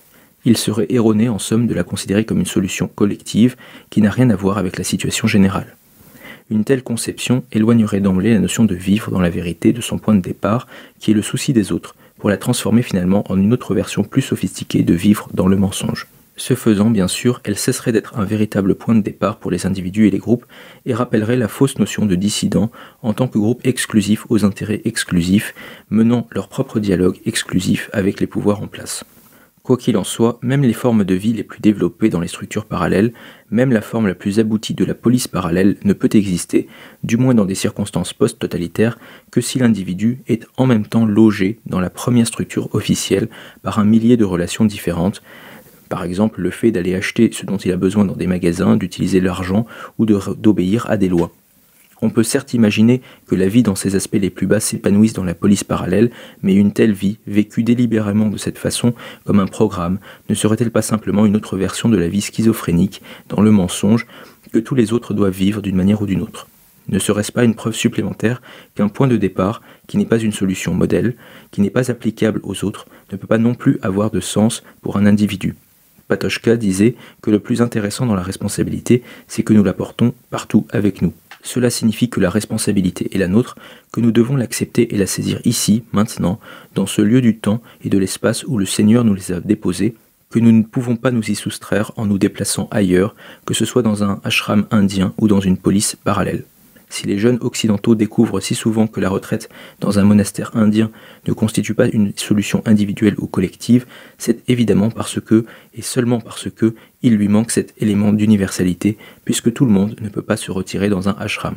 Le christianisme est l'exemple d'une issue opposée. Il y est un point de départ, pour moi, ici et maintenant, mais seulement parce que n'importe qui, n'importe où, à n'importe quel moment, peut s'en prévaloir. En d'autres termes, la police parallèle pointe au-delà d'elle-même et n'a pas de sens que comme un acte d'approfondissement de la responsabilité envers et pour l'ensemble, comme une façon de découvrir le lieu le plus approprié pour cette responsabilité, et non comme une échappatoire. Chapitre 19 J'ai déjà parlé du potentiel politique de la vie dans la vérité et des limites de la prédiction de savoir si, comment et quand une expression donnée de cette vie dans la vérité peut conduire à des changements réels. J'ai également mentionné à quel point il n'est pas pertinent d'essayer de calculer les risques à cet égard, car une caractéristique essentielle des initiatives indépendantes est qu'elles sont toujours, du moins au début, un pari tout ou rien. Néanmoins, cette esquisse d'une partie du travail effectué par les mouvements dissidents serait incomplète si l'on n'examinait pas, ne serait-ce que de manière très générale, certaines des différentes manières dont ce travail peut effectivement affecter la société, en d'autres termes, si l'on n'examinait pas les manières dont la responsabilité envers et pour l'ensemble peut, sans nécessairement signifier qu'elle doit, se réaliser dans la pratique. En premier lieu, il convient de souligner que l'ensemble de la sphère de la vie indépendante de la société, et plus encore le mouvement dissident en tant que tel, est naturellement loin d'être le seul facteur potentiel susceptible d'influencer l'histoire des pays vivant sous le régime post-totalitaire. La crise sociale latente dans ces sociétés peut à tout moment, indépendamment de ces mouvements, provoquer une grande variété de changements politiques. Elle peut déstabiliser la structure du pouvoir et induire ou accélérer diverses confrontations cachées, entraînant des changements personnels, conceptuels ou du moins climatiques. Elle peut influencer de manière significative l'atmosphère générale de la vie, susciter des troubles sociaux inattendus et imprévus et des explosions de mécontentement. Les changements de pouvoir au centre du bloc peuvent influencer les conditions dans les différents pays de diverses manières. Les facteurs économiques ont naturellement une influence importante, tout comme les tendances plus générales de la civilisation mondiale un domaine extrêmement important qui pourrait être à l'origine des changements radicaux et des bouleversements politiques est représenté par la politique internationale, les politiques adoptées par l'autre superpuissance et tous les autres pays, l'évolution de la structure des intérêts internationaux et les positions prises par notre bloc. Même les personnes qui finissent par occuper les postes les plus élevés ne sont pas sans importance, même si, comme je l'ai déjà dit, il ne faut pas surestimer l'importance des personnalités de premier plan dans le système post-totalitaire. Il existe de nombreuses influences et combinaisons d'influences de ce type, et l'impact politique éventuel du mouvement dissident n'est pensable que dans ce contexte général et dans le cadre que ce contexte fournit. Cet impact n'est que l'un des nombreux facteurs, et loin d'être le plus important, qui affectent les développements politiques, et il ne diffère des autres facteurs peut-être que dans la mesure où son objectif essentiel est de réfléchir à ce développement politique du point de vue d'une défense des personnes et de chercher une application immédiate de cette réflexion. L'objectif premier de l'orientation vers l'extérieur de ces mouvements est toujours, comme nous l'avons vu, d'avoir un point d'impact sur la société et non d'affecter la structure du pouvoir, du moins pas directement et immédiatement. Les initiatives indépendantes s'attaquent à la sphère cachée, elles démontrent que vivre dans la vérité est une alternative humaine et sociale, et elles luttent pour élargir l'espace disponible pour cette vie. Elles contribuent, même s'il s'agit bien sûr d'une aide indirecte, à accroître la confiance des citoyens. Elle brise le monde des apparences et démasque la véritable nature du pouvoir. Ils n'assument pas un rôle messianique, ils ne sont pas une avant-garde ou une élite sociale qui serait la seule à savoir ce qu'il y a de mieux et dont la tâche serait d'élever les consciences des masses inconscientes, cette autoprojection arrogante et, une fois de plus, intrinsèque à un mode de pensée essentiellement différent, celui qui pense avoir un brevet sur un projet idéal et donc avoir le droit de l'imposer à la société. Ils ne veulent pas non plus la diriger et diriger qui que ce soit. Ils laissent à chacun le soin de décider ce qu'il veut ou non retenir de leur expérience et de leur travail. Si la propagande officielle tchécoslovaque a qualifié les chartistes d'autoproclamés, ce n'était pas pour souligner une réelle ambition d'avant-garde de leur part, mais plutôt une expression naturelle de la façon dont le régime pense, de sa tendance à juger les autres selon lui-même, puisque derrière toute expression de critique, il voit automatiquement la volonté de chasser les puissants de leur siège et de gouverner, au nom du peuple, le même prétexte que le régime lui-même utilise depuis des années. Ces mouvements touchent donc toujours indirectement la structure du pouvoir en tant que telle, en tant que partie de la société dans son ensemble, car ils s'adressent avant tout aux sphères cachées de la société, puisqu'il ne s'agit pas d'affronter le régime au niveau du pouvoir réel. J'ai déjà indiqué l'une des façons dont cela peut fonctionner. La conscience des lois et la responsabilité de veiller à leur respect sont indirectement renforcées. Bien sûr, ce n'est qu'un exemple spécifique d'une influence beaucoup plus large, la pression indirecte ressentie du fait de vivre dans la vérité la pression créée par la libre pensée, les valeurs alternatives et le comportement alternatif et par l'autoréalisation sociale indépendante. La structure du pouvoir, qu'elle le veuille ou non, doit toujours réagir à cette pression dans une certaine mesure. Sa réponse, cependant, est toujours limitée à deux dimensions, la répression et l'adaptation. Parfois l'une domine, parfois l'autre. Par exemple, l'université volante polonaise a fait l'objet d'une persécution accrue et les professeurs volants ont été arrêtés par la police. Dans le même temps, cependant, les professeurs des universités officielles existantes ont essayé d'enrichir leur programme de plusieurs sujets jusqu'alors considérés comme tabous, et ce grâce à la pression indirecte exercée par l'université volante. Les motifs de cette adaptation peuvent varier de l'idéal au purement utilitaire. L'instinct de survie du régime l'oblige à remarquer l'évolution des idées et du climat mental des sociales et y réagir avec souplesse. La prédominance de l'un ou l'autre de ces motifs à un moment donné n'est pas essentielle pour l'effet final. L'adaptation est la dimension positive de la réponse au régime et elle peut avoir et a généralement un large spectre de formes et de phrases. Certains milieux peuvent essayer d'intégrer les valeurs des personnes du monde parallèle dans les structures officielles, de se les approprier, de devenir un peu comme eux tout en essayant de les rendre un peu comme eux-mêmes et d'ajuster ainsi un déséquilibre évident et intenable. Dans les années 60, les communistes progressistes ont commencé à découvrir certaines valeurs et phénomènes culturels non reconnus. Il s'agissait d'une étape positive mais non sans danger, car les valeurs intégrées ou appropriées perdaient quelque peu de leur indépendance et de leur originalité, et ayant reçu un manteau d'officialité et de conformité, leur crédibilité était quelque peu affaiblie. Dans une phase ultérieure, cette adaptation peut conduire à diverses tentatives de réforme de la part des structures officielles, tant au niveau de leurs objectifs ultimes que de leur structure. Ces réformes sont généralement des mesures à mi-chemin, ce sont des tentatives de combiner et de coordonner de manière réaliste le fait de servir la vie et le fait de servir l'automatisme post-totalitaire. Mais il ne peut en être autrement. Elle brouille ce qui était à l'origine une ligne de démarcation claire entre vivre dans la vérité et vivre dans le mensonge. Il jette un écran de fumée sur la situation, mystifie la société et empêche les gens de garder leurs repères. Bien sûr, cela ne change rien au fait que c'est toujours essentiellement une bonne chose quand cela arrive, car cela ouvre de nouveaux espaces, mais cela rend plus difficile la distinction entre les compromis admissibles et inadmissibles. Une autre phase d'adaptation, plus élevée, est un processus de différenciation interne qui a lieu dans les structures officielles. Ces structures s'ouvrent à des formes de pluralité plus ou moins institutionnalisées parce que les objectifs réels de la vie l'exigent. Un exemple, sans changer la base centralisée et institutionnelle de la vie culturelle, de nouvelles maisons d'édition, des périodiques collectifs, des groupes d'artistes, des instituts de recherche et des lieux de travail parallèles peuvent apparaître sous la pression de la base. Ou un autre exemple, l'organisation de la jeunesse unique et gérée par l'État comme une courroie de transmission post-totalitaire typique se désintègre sous la pression des besoins réels d'un certain nombre d'organisations plus ou moins indépendantes telles que l'Union des étudiants universitaires, l'Union des étudiants de l'enseignement secondaire, l'Organisation des jeunes travailleurs, etc.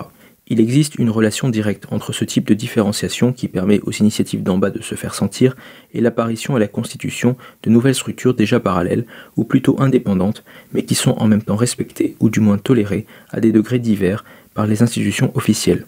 Ces nouvelles institutions sont plus que des structures officielles libéralisées adaptées aux besoins authentiques de la vie. Elles sont l'expression directe de ces besoins, exigeant une position dans le contexte de ce qui est déjà là, en d'autres termes, elles sont des expressions authentiques de la tendance de la société à s'organiser. En Tchécoslovaquie, en 1968, les organisations les plus connues de ce type étaient le KAN, le Club des non-communistes engagés, et le K231, une organisation d'anciens prisonniers politiques. La phase ultime de ce processus est la situation dans laquelle les structures officielles, en tant qu'agences du système post-totalitaire, n'existant que pour servir son automatisme et construit dans l'esprit de ce rôle, commencent tout simplement à dépérir et à mourir pour être remplacées par de nouvelles structures qui ont évolué à partir de la base et sont constituées d'une manière fondamentalement différente. On peut certainement imaginer bien d'autres façons dont les objectifs de la vie peuvent entraîner des transformations politiques dans l'organisation générale des choses et affaiblir à tous les niveaux l'emprise des techniques de manipulation sur la société.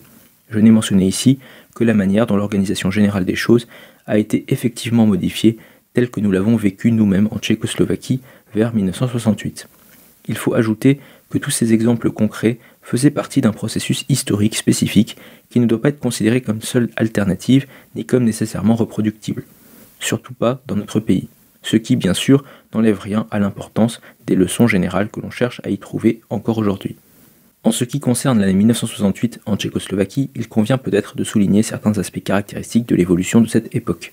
Toutes les transformations, d'abord dans l'esprit général, puis sur le plan conceptuel et enfin sur le plan structurel, ne se sont pas produites sous la pression de structures parallèles telles que celles qui se dessinent aujourd'hui. Ces structures, qui sont des antithèses bien définies des structures officielles, n'existaient tout simplement pas à l'époque et il n'y avait pas non plus de dissidents au sens actuel du terme. Les changements qui se produisirent furent simplement la conséquence de pressions de nature très diverses, certaines profondes, d'autres partielles. Il y a eu des tentatives spontanées de formes plus libres de pensée, de création indépendante et d'articulation politique. Il y a eu des efforts à long terme, spontanés et discrets, pour amener l'interpénétration de la vie indépendante de la société avec les structures existantes, commençant généralement par l'institutionnalisation discrète de cette vie à la périphérie des structures officielles. En d'autres termes, il s'agissait d'un processus graduel d'éveil social, une sorte de processus rampant dans lequel les sphères cachées s'ouvraient progressivement. Il y a une part de vérité dans la propagande officielle qui parle d'une contre-révolution rampante en Tchécoslovaquie, en référence à la façon dont les objectifs de la vie se déroulent. La force motrice de cet éveil n'a pas dû venir exclusivement de la vie indépendante de la société, considérée comme un milieu social définissable, bien que, bien sûr, elle soit venue de là, un fait qui n'a pas encore été pleinement apprécié, elle pouvait aussi simplement provenir du fait que les membres des structures officielles, qui s'identifiaient plus ou moins à l'idéologie officielle, se sont heurtés à la réalité telle qu'elle était vraiment et telle qu'elle leur est apparue progressivement à travers des crises sociales latentes et leur propre expérience amère de la vraie nature des opérations du pouvoir. Je pense ici principalement aux nombreux communistes réformateurs antidogmatiques qui sont devenus, au fil des ans, une force à l'intérieur des structures officielles. Il n'existait ni les conditions ni la raison d'être de ces initiatives indépendantes, limitées, autostructurantes, familières à l'époque actuelle des mouvements dissidents, qui se tiennent si nettement à l'écart des structures officielles et ne sont pas reconnues par elles en bloc. À l'époque, le système post-totalitaire de la Tchécoslovaquie ne s'était pas encore pétrifié dans les formes statiques, stériles et stables qui existent aujourd'hui, des formes qui obligent les gens à se rabattre sur leur propre capacité d'organisation. Pour de nombreuses raisons historiques et sociales, le régime de 1968 était plus ouvert. Le pouvoir, épuisé par le despotisme stalinien et tâtonnant en quête de réformes indolores, était inévitablement en train de pourrir de l'intérieur, incapable de s'opposer intelligemment au changement d'humeur, à la façon dont ses jeunes membres voyaient les choses et aux milliers d'expressions authentiques de la vie pré-politique qui surgissaient sur ce vaste terrain politique entre l'officiel et l'officieux.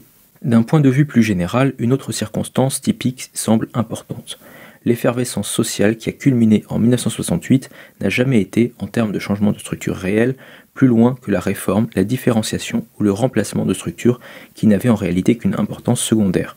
Il n'a pas affecté l'essence même de la structure du pouvoir dans le système post-totalitaire, c'est-à-dire son modèle politique, les principes fondamentaux de l'organisation sociale, ni même le modèle économique dans lequel tout pouvoir économique est subordonné au pouvoir politique. Les instruments directs du pouvoir, l'armée, la police, le pouvoir juridique, n'ont pas non plus fait l'objet de changements structurels essentiels. À ce niveau, il n'a jamais été question que d'un changement d'état d'esprit, de personnel, de ligne politique et surtout de changement dans la manière d'exercer ce pouvoir. Tout le reste est resté au stade de la discussion et de la planification.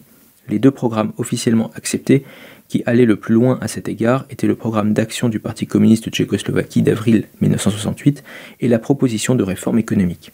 Le programme d'action, il ne pouvait en être autrement, était plein de contradictions et de demi-mesures qui ne touchaient pas aux aspects physiques du pouvoir. Et les propositions économiques, tout en allant dans le sens des objectifs de vie dans la sphère économique, elles acceptaient des notions telles que la pluralité des intérêts et des initiatives, les incitations dynamiques, les restrictions au système de commandement économique, laissaient intact le pilier fondamental du pouvoir économique, c'est-à-dire le principe de la propriété étatique plutôt que de la propriété sociale authentique des moyens de production. Il y a donc là un fossé qu'aucun mouvement social dans le système post-totalitaire n'a jamais été capable de combler, à l'exception peut-être de ces quelques jours pendant le soulèvement hongrois. Quelle autre alternative de développement pourrait émerger à l'avenir? Répondre à cette question reviendrait à entrer dans le domaine de la pure spéculation. Pour l'instant, on peut dire que la crise sociale latente du système a toujours, et il n'y a aucune raison de croire que cela ne continuera pas à se faire, entraîné diverses perturbations politiques et sociales l'Allemagne en 1963, la Hongrie, l'URSS et la Pologne en 1956, la Tchécoslovaquie et la Pologne en 1968 et la Pologne en 1970 et 1976. Toutes très différentes dans leur contexte, le cours de leur évolution et leurs conséquences finales. Si nous considérons l'énorme complexe de facteurs différents qui ont conduit à de telles perturbations et l'impossibilité de prévoir quelle accumulation accidentelle d'événements fera éclater au grand jour cette fermentation dans la sphère cachée, le problème de la goutte d'eau qui fait déborder le vase, et si nous considérons combien il est impossible de deviner ce que l'avenir nous réserve, étant donné les tendances opposées comme d'une part l'intégration de plus en plus profonde du bloc et l'expansion du pouvoir en son sein, et d'autre part les perspectives de désintégration de l'URSS, se désintègrent sous la pression de l'éveil de la conscience nationale dans les régions non russes, à cet égard l'Union soviétique ne peut pas s'attendre à rester éternellement à l'écart de la lutte mondiale pour la libération nationale, alors nous devons voir qu'il est désespérant d'essayer de faire des prédictions à long terme. En tout cas, je ne crois pas que ce type de spéculation ait une signification immédiate pour les mouvements dissidents, car ces mouvements, après tout, ne se développent pas à partir de la pensée spéculative, et donc s'établir sur cette base signifierait s'aliéner de la source même de leur identité. En ce qui concerne les perspectives des mouvements dissidents en tant que tels, il semble très peu probable que les développements futurs conduisent à une coexistence durable de deux corps isolés, mutuellement non interagissants et mutuellement indifférents, la police principale et la police parallèle. Tant qu'elle reste ce qu'elle est, la pratique de la vie dans la vérité ne peut que constituer une menace pour le système. il est tout à fait impossible d'imaginer qu'elle puisse continuer à coexister avec la pratique de la vie dans le mensonge sans tension dramatique. Le rapport entre le système post-totalitaire, tant qu'il reste ce qu'il est, et la vie indépendante de la société, tant qu'elle reste le lieu d'une responsabilité renouvelée pour le tout et envers le tout, sera toujours un rapport de conflit latent ou ouvert. Dans cette situation, il n'y a que deux possibilités. Soit le système post-totalitaire continuera à se développer, c'est-à-dire qu'il pourra continuer à se développer, se rapprochant ainsi inévitablement de l'effarante vision orwellienne d'un monde de manipulation absolue, tandis que toutes les expressions les plus articulées de la vie dans la vérité seront définitivement étouffées, soit la vie indépendante de la société, la police parallèle, y compris les mouvements dissidents, deviendront lentement mais sûrement un phénomène social d'importance croissante la vie indépendante de la société, la police parallèle, y compris les mouvements dissidents, deviendront lentement mais sûrement un phénomène social d'importance, prenant part réellement à la vie de la société avec une clarté croissante et une influence sur la situation générale. Bien entendu, il ne s'agira toujours que d'un des nombreux facteurs influençant la situation. Et il agira plutôt en arrière-plan, de concert avec les autres facteurs et d'une manière adaptée au contexte qu'il s'agisse de réformer les structures officielles, d'encourager la différenciation ou de les remplacer par de nouvelles structures, qu'il s'agisse d'améliorer le système ou au contraire de le démolir, ces questions et d'autres semblables, dans la mesure où elles ne sont pas des pseudo-problèmes, ne peuvent être posées par le mouvement dissident que dans le contexte d'une situation particulière, lorsque le mouvement est confronté à une tâche concrète. En d'autres termes, il doit poser des questions, pour ainsi dire ad hoc, à partir d'une considération concrète des besoins authentiques de la vie. Répondre à ces questions de façon abstraite et formuler un programme politique en fonction d'un avenir hypothétique signifierait, je crois, un retour à l'esprit et aux méthodes de la politique traditionnelle, ce qui limiterait et aliénerait le travail de la dissidence là où elle est le plus intrinsèquement elle-même et où elle a les perspectives d'avenir les plus authentiques. J'ai déjà souligné à plusieurs reprises que ces mouvements dissidents n'ont pas leur point de départ dans l'invention de changements systémiques, mais dans une lutte réelle et quotidienne pour une vie meilleure ici et maintenant il est évident que les systèmes politiques et structurels que la vie découvre par elle-même seront toujours, pour un certain temps encore, du moins limités, intermédiaires, insatisfaisants et pollués par des techniques débilitantes. Il ne peut en être autrement et nous devons nous y attendre et ne pas en être démoralisés il est très important que l'essentiel, la lutte quotidienne, ingrate et sans fin des êtres humains pour vivre plus librement, plus honnêtement et dans une dignité tranquille, ne s'impose jamais de limites, ne soit jamais tiède, incohérente, ne se piège jamais dans des tactiques politiques en spéculant sur le résultat de ses actions ou en entretenant des fantasmes sur l'avenir. La pureté de cette lutte est la meilleure garantie de résultats optimaux lors de l'interaction réelle avec les structures post-totalitaires. Chapitre 20 la nature spécifique des conditions post-totalitaires, avec leur absence de vie politique normale et le fait que tout changement politique d'envergure est totalement imprévisible, a un aspect positif. Elle nous oblige à examiner notre situation en termes de cohérence profonde et à considérer notre avenir dans le contexte des perspectives globales et à long terme du monde dont nous faisons partie. Le fait que la confrontation la plus intrinsèque et la plus fondamentale entre les êtres humains et le système se situe à un niveau incomparablement plus profond que celui de la politique traditionnelle semble en même temps déterminer également la direction que prendront ces considérations. Notre attention se tourne donc inévitablement vers la question la plus essentielle, la crise de la société technologique contemporaine dans son ensemble, la crise que Heidegger décrit comme l'inaptitude de l'humanité face à la puissance planétaire de la technique, la technique, cet enfant de la science moderne, elle-même enfant de la métaphysique moderne, échappe au contrôle de l'humanité, a cessé de nous servir, nous a asservis et nous a contraints à participer à la préparation de notre propre destruction et l'humanité ne trouve pas d'issue, nous n'avons ni idée ni foi, et encore moins une conception politique pour nous aider à ramener les choses sous contrôle humain. Nous assistons, impuissants, à l'engloutissement inéluctable de la machine froide que nous avons créée, qui nous arrache à nos appartenances naturelles, par exemple à notre habitat au sens le plus large du terme, y compris notre habitat dans la biosphère, tout comme elle nous arrache à l'expérience de l'être et nous projette dans le monde des existences. Cette situation a été décrite sous de nombreux angles et de nombreux individus et groupes sociaux ont cherché, souvent péniblement, à en sortir, par exemple à travers la pensée orientale ou en formant des communes. La seule tentative sociale, ou plutôt politique, de faire quelque chose qui contienne l'élément nécessaire d'universalité, responsabilité envers et pour l'ensemble, est la voie désespérée, et étant donné la tourmente dans laquelle le monde se trouve, en perte de vitesse, du mouvement écologique et même là, la tentative se limite à une notion particulière de la façon d'utiliser la technologie pour s'opposer à la dictature de la technologie.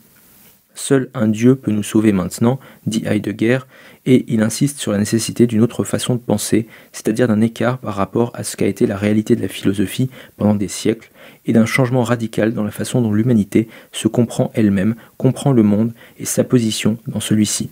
Il n'y voit pas d'issue et tout ce qu'il peut recommander est de préparer les attentes divers penseurs et mouvements estiment que cette issue encore inconnue pourrait être caractérisée de manière plus générale comme une vaste révolution existentielle.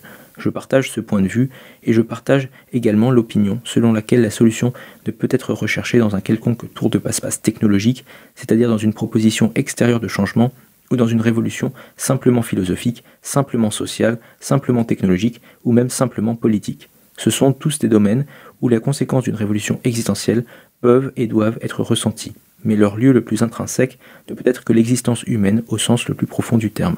Ce n'est qu'à partir de cette base qu'elle peut devenir une reconstitution généralement éthique et bien sûr finalement politique de la société.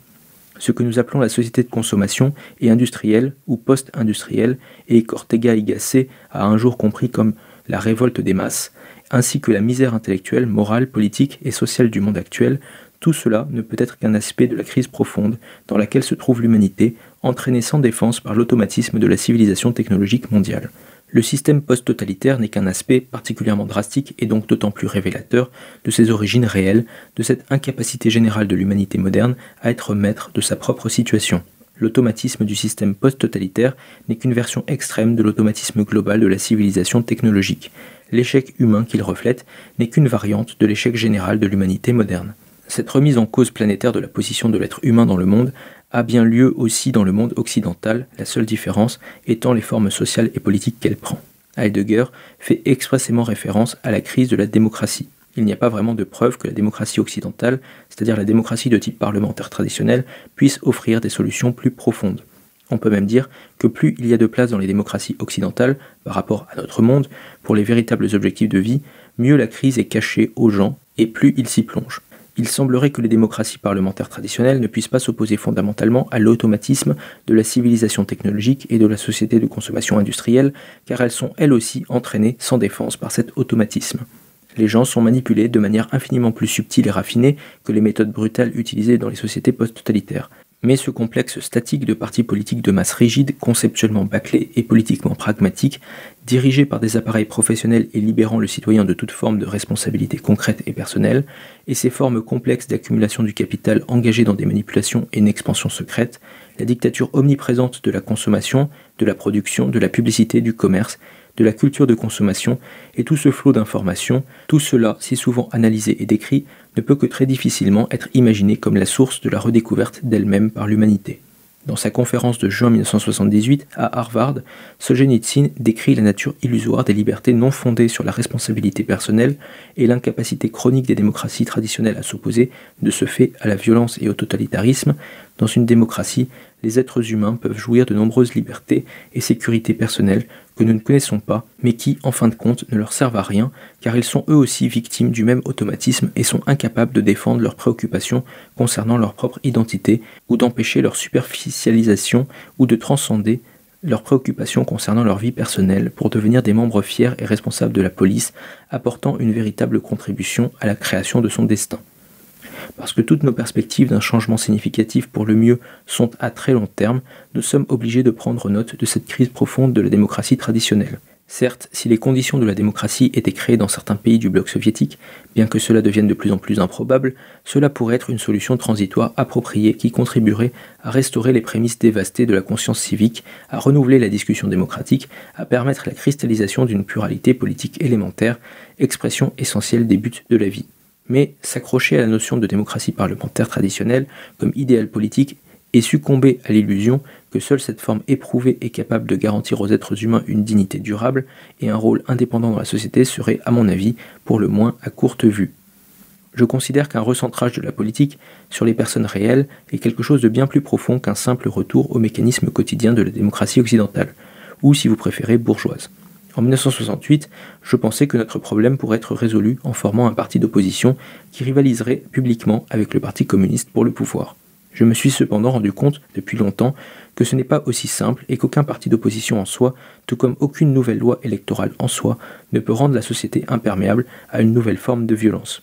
Aucune mesure d'organisation en soi ne peut fournir cette garantie et nous serions bien en peine de trouver en elle ce Dieu qui seul peut nous sauver. Chapitre 21 Et maintenant, on peut à juste titre me poser la question que faire alors?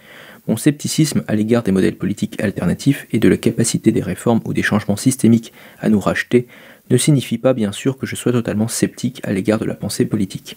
L'accent que je mets sur l'importance de centrer les préoccupations sur les êtres humains réels ne me disqualifie pas non plus de considérer les possibles conséquences structurelles qui en découlent. Au contraire, si on a pu dire A, alors on devrait pouvoir aussi dire B.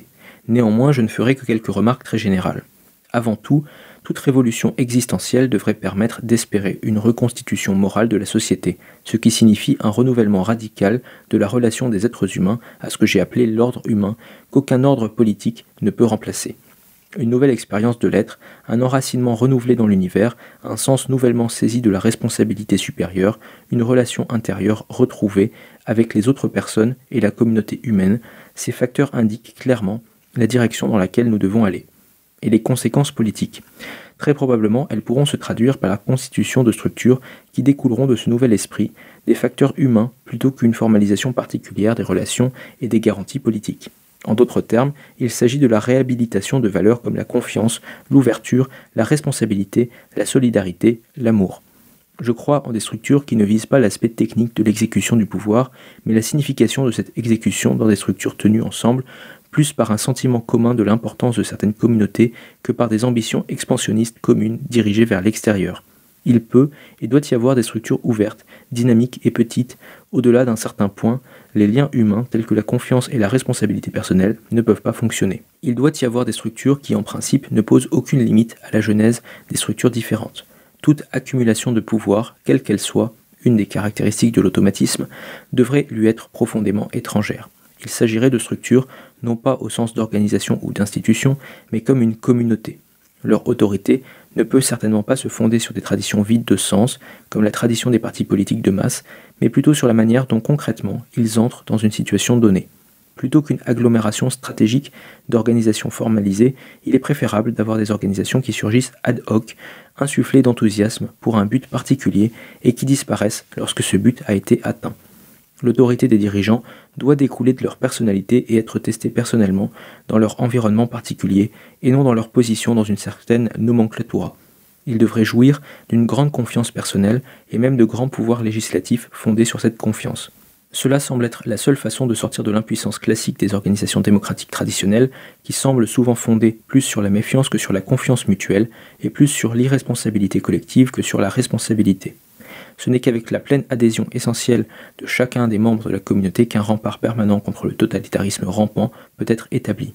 Ces structures doivent naître naturellement de la base, comme conséquence d'une authentique auto-organisation sociale. Elles doivent tirer leur énergie vitale d'un dialogue vivant avec les besoins authentiques dont elles sont issues, et lorsque ces besoins disparaissent, les structures doivent également disparaître. Les principes de leur organisation interne doivent être très diversifiés, avec un minimum de régularisation externe.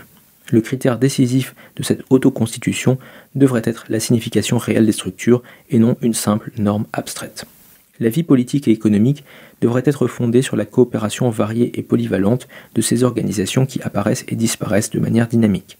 En ce qui concerne la vie économique de la société, je crois au principe de l'autogestion, qui est probablement le seul moyen de réaliser ce dont les théoriciens du socialisme ont rêvé, c'est-à-dire la participation réelle, c'est-à-dire informelle, des travailleurs à la prise de décisions économiques, conduisant à un sentiment de responsabilité réelle pour leur travail collectif.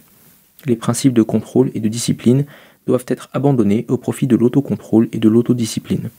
Comme on peut le constater à partir d'un aperçu aussi général, les conséquences systémiques d'une révolution existentielle de ce type dépassent largement le cadre de la démocratie parlementaire classique. Ayant introduit le terme post-totalitaire pour les besoins de cette discussion, je devrais peut-être me référer à la notion que je viens d'esquisser, purement pour le moment, comme aux perspectives d'un système post-démocratique. Il ne fait aucun doute que cette notion pourrait être développée davantage, mais je pense que ce serait une entreprise insensée, pour ne pas dire plus, car lentement mais sûrement, l'idée entière deviendrait aliénée, séparée d'elle-même. Après tout, l'essence d'une telle post-démocratie est aussi qu'elle ne peut se développer que par la pratique, comme un processus découlant directement de la vie, d'une nouvelle atmosphère et d'un nouvel esprit, La pensée politique, bien sûr, jouerait un rôle ici, mais pas en tant que directeur, simplement en tant que guide.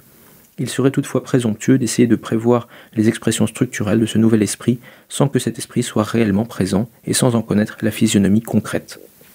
Chapitre 22 J'aurais probablement omis toute la section précédente comme étant un sujet plus approprié pour une méditation privée si je n'avais pas eu une certaine sensation récurrente. Elle peut sembler un peu présomptueuse, et je la présenterai donc sous la forme d'une question. Ces visions de structure post-démocratique ne rappellent-elles pas, d'une certaine manière, les groupes dissidents ou ces initiatives citoyennes indépendantes telles que nous les connaissons déjà dans notre propre environnement? Ces petites communautés, liées entre elles par des milliers de tribulations communes, ne donnent-elles pas naissance à certaines de ces liens et relations politiques particulières et humainement significatives dont nous avons parlé? Ces communautés et ce sont des communautés plutôt que des organisations, motivées principalement par une croyance commune dans la signification profonde de ce qu'elles font puisqu'elles n'ont aucune chance de succès direct et extérieur, ne sont-elles pas unies par le type même d'atmosphère dans laquelle les liens formalisés et ritualisés courants dans les structures officielles sont supplantés par un sens vivant de la solidarité et de la fraternité. Ces relations post-démocratiques de confiance personnelle immédiate et les droits informels des individus qui en découlent ne sont-ils pas nés à l'arrière-plan de toutes ces difficultés communément partagées? Ces groupes ne naissent-ils pas, ne vivent-ils pas et ne disparaissent-ils pas sous la pression de besoins concrets et authentiques, sous le poids de traditions creuses? Leur tentative de créer une forme articulée de vie dans la vérité et de renouveler le sentiment d'une responsabilité supérieure dans une société apathique n'est-elle pas en réalité le signe d'une sorte de reconstitution morale rudimentaire. En d'autres termes, ces communautés informées, non bureaucratiques, dynamiques et ouvertes qui constituent la police parallèle ne sont-elles pas une sorte de préfiguration rudimentaire, un modèle symbolique de ces structures politiques post-démocratiques plus significatives qui pourraient devenir le fondement d'une société meilleure? Je sais, grâce à des milliers d'expériences personnelles, comment le simple fait d'avoir signé la charte a immédiatement créé une relation plus profonde et plus ouverte, et a suscité des sentiments soudains et puissants de communauté authentique entre des personnes qui étaient auparavant de parfaits étrangers. Ce genre de choses n'arrive que rarement, voire jamais, même chez des personnes qui ont travaillé ensemble pendant de longues périodes dans une structure officielle apathique. C'est comme si la simple prise de conscience et l'acceptation d'une tâche commune et d'une expérience partagée suffisaient à transformer les gens et le climat de leur vie, comme si cela donnait à leur travail public une dimension plus humaine que l'on trouve rarement ailleurs. Peut-être que tout cela n'est que la conséquence d'une menace commune. Peut-être qu'au moment où la menace prendra fin, ou s'atténuera, l'ambiance qu'elle a contribué à créer commencera à se dissiper également. Le but de ceux qui nous menacent, cependant, est précisément le contraire. Encore et encore, on est choqué par l'énergie qu'ils consacrent à contaminer, de diverses manières méprisables, toutes les relations humaines à l'intérieur de la communauté menacée. Mais, même si c'était le cas, cela ne changerait rien à la question que j'ai posée. Nous ne savons pas comment sortir du marasme du monde, et ce serait faire preuve d'un orgueil impardonnable que de considérer le peu que nous faisons comme une solution fondamentale, ou que nous devons présenter, nous, notre communauté et nos solutions aux problèmes vitaux, comme la seule chose qui vaille la peine d'être faite. Malgré tout, je pense qu'étant donné toutes ces réflexions précédentes sur les conditions post-totalitaires, et étant donné les circonstances et la constitution interne des efforts qui se développent pour défendre les êtres humains et leur identité dans de telles conditions, les questions que j'ai posées sont appropriées.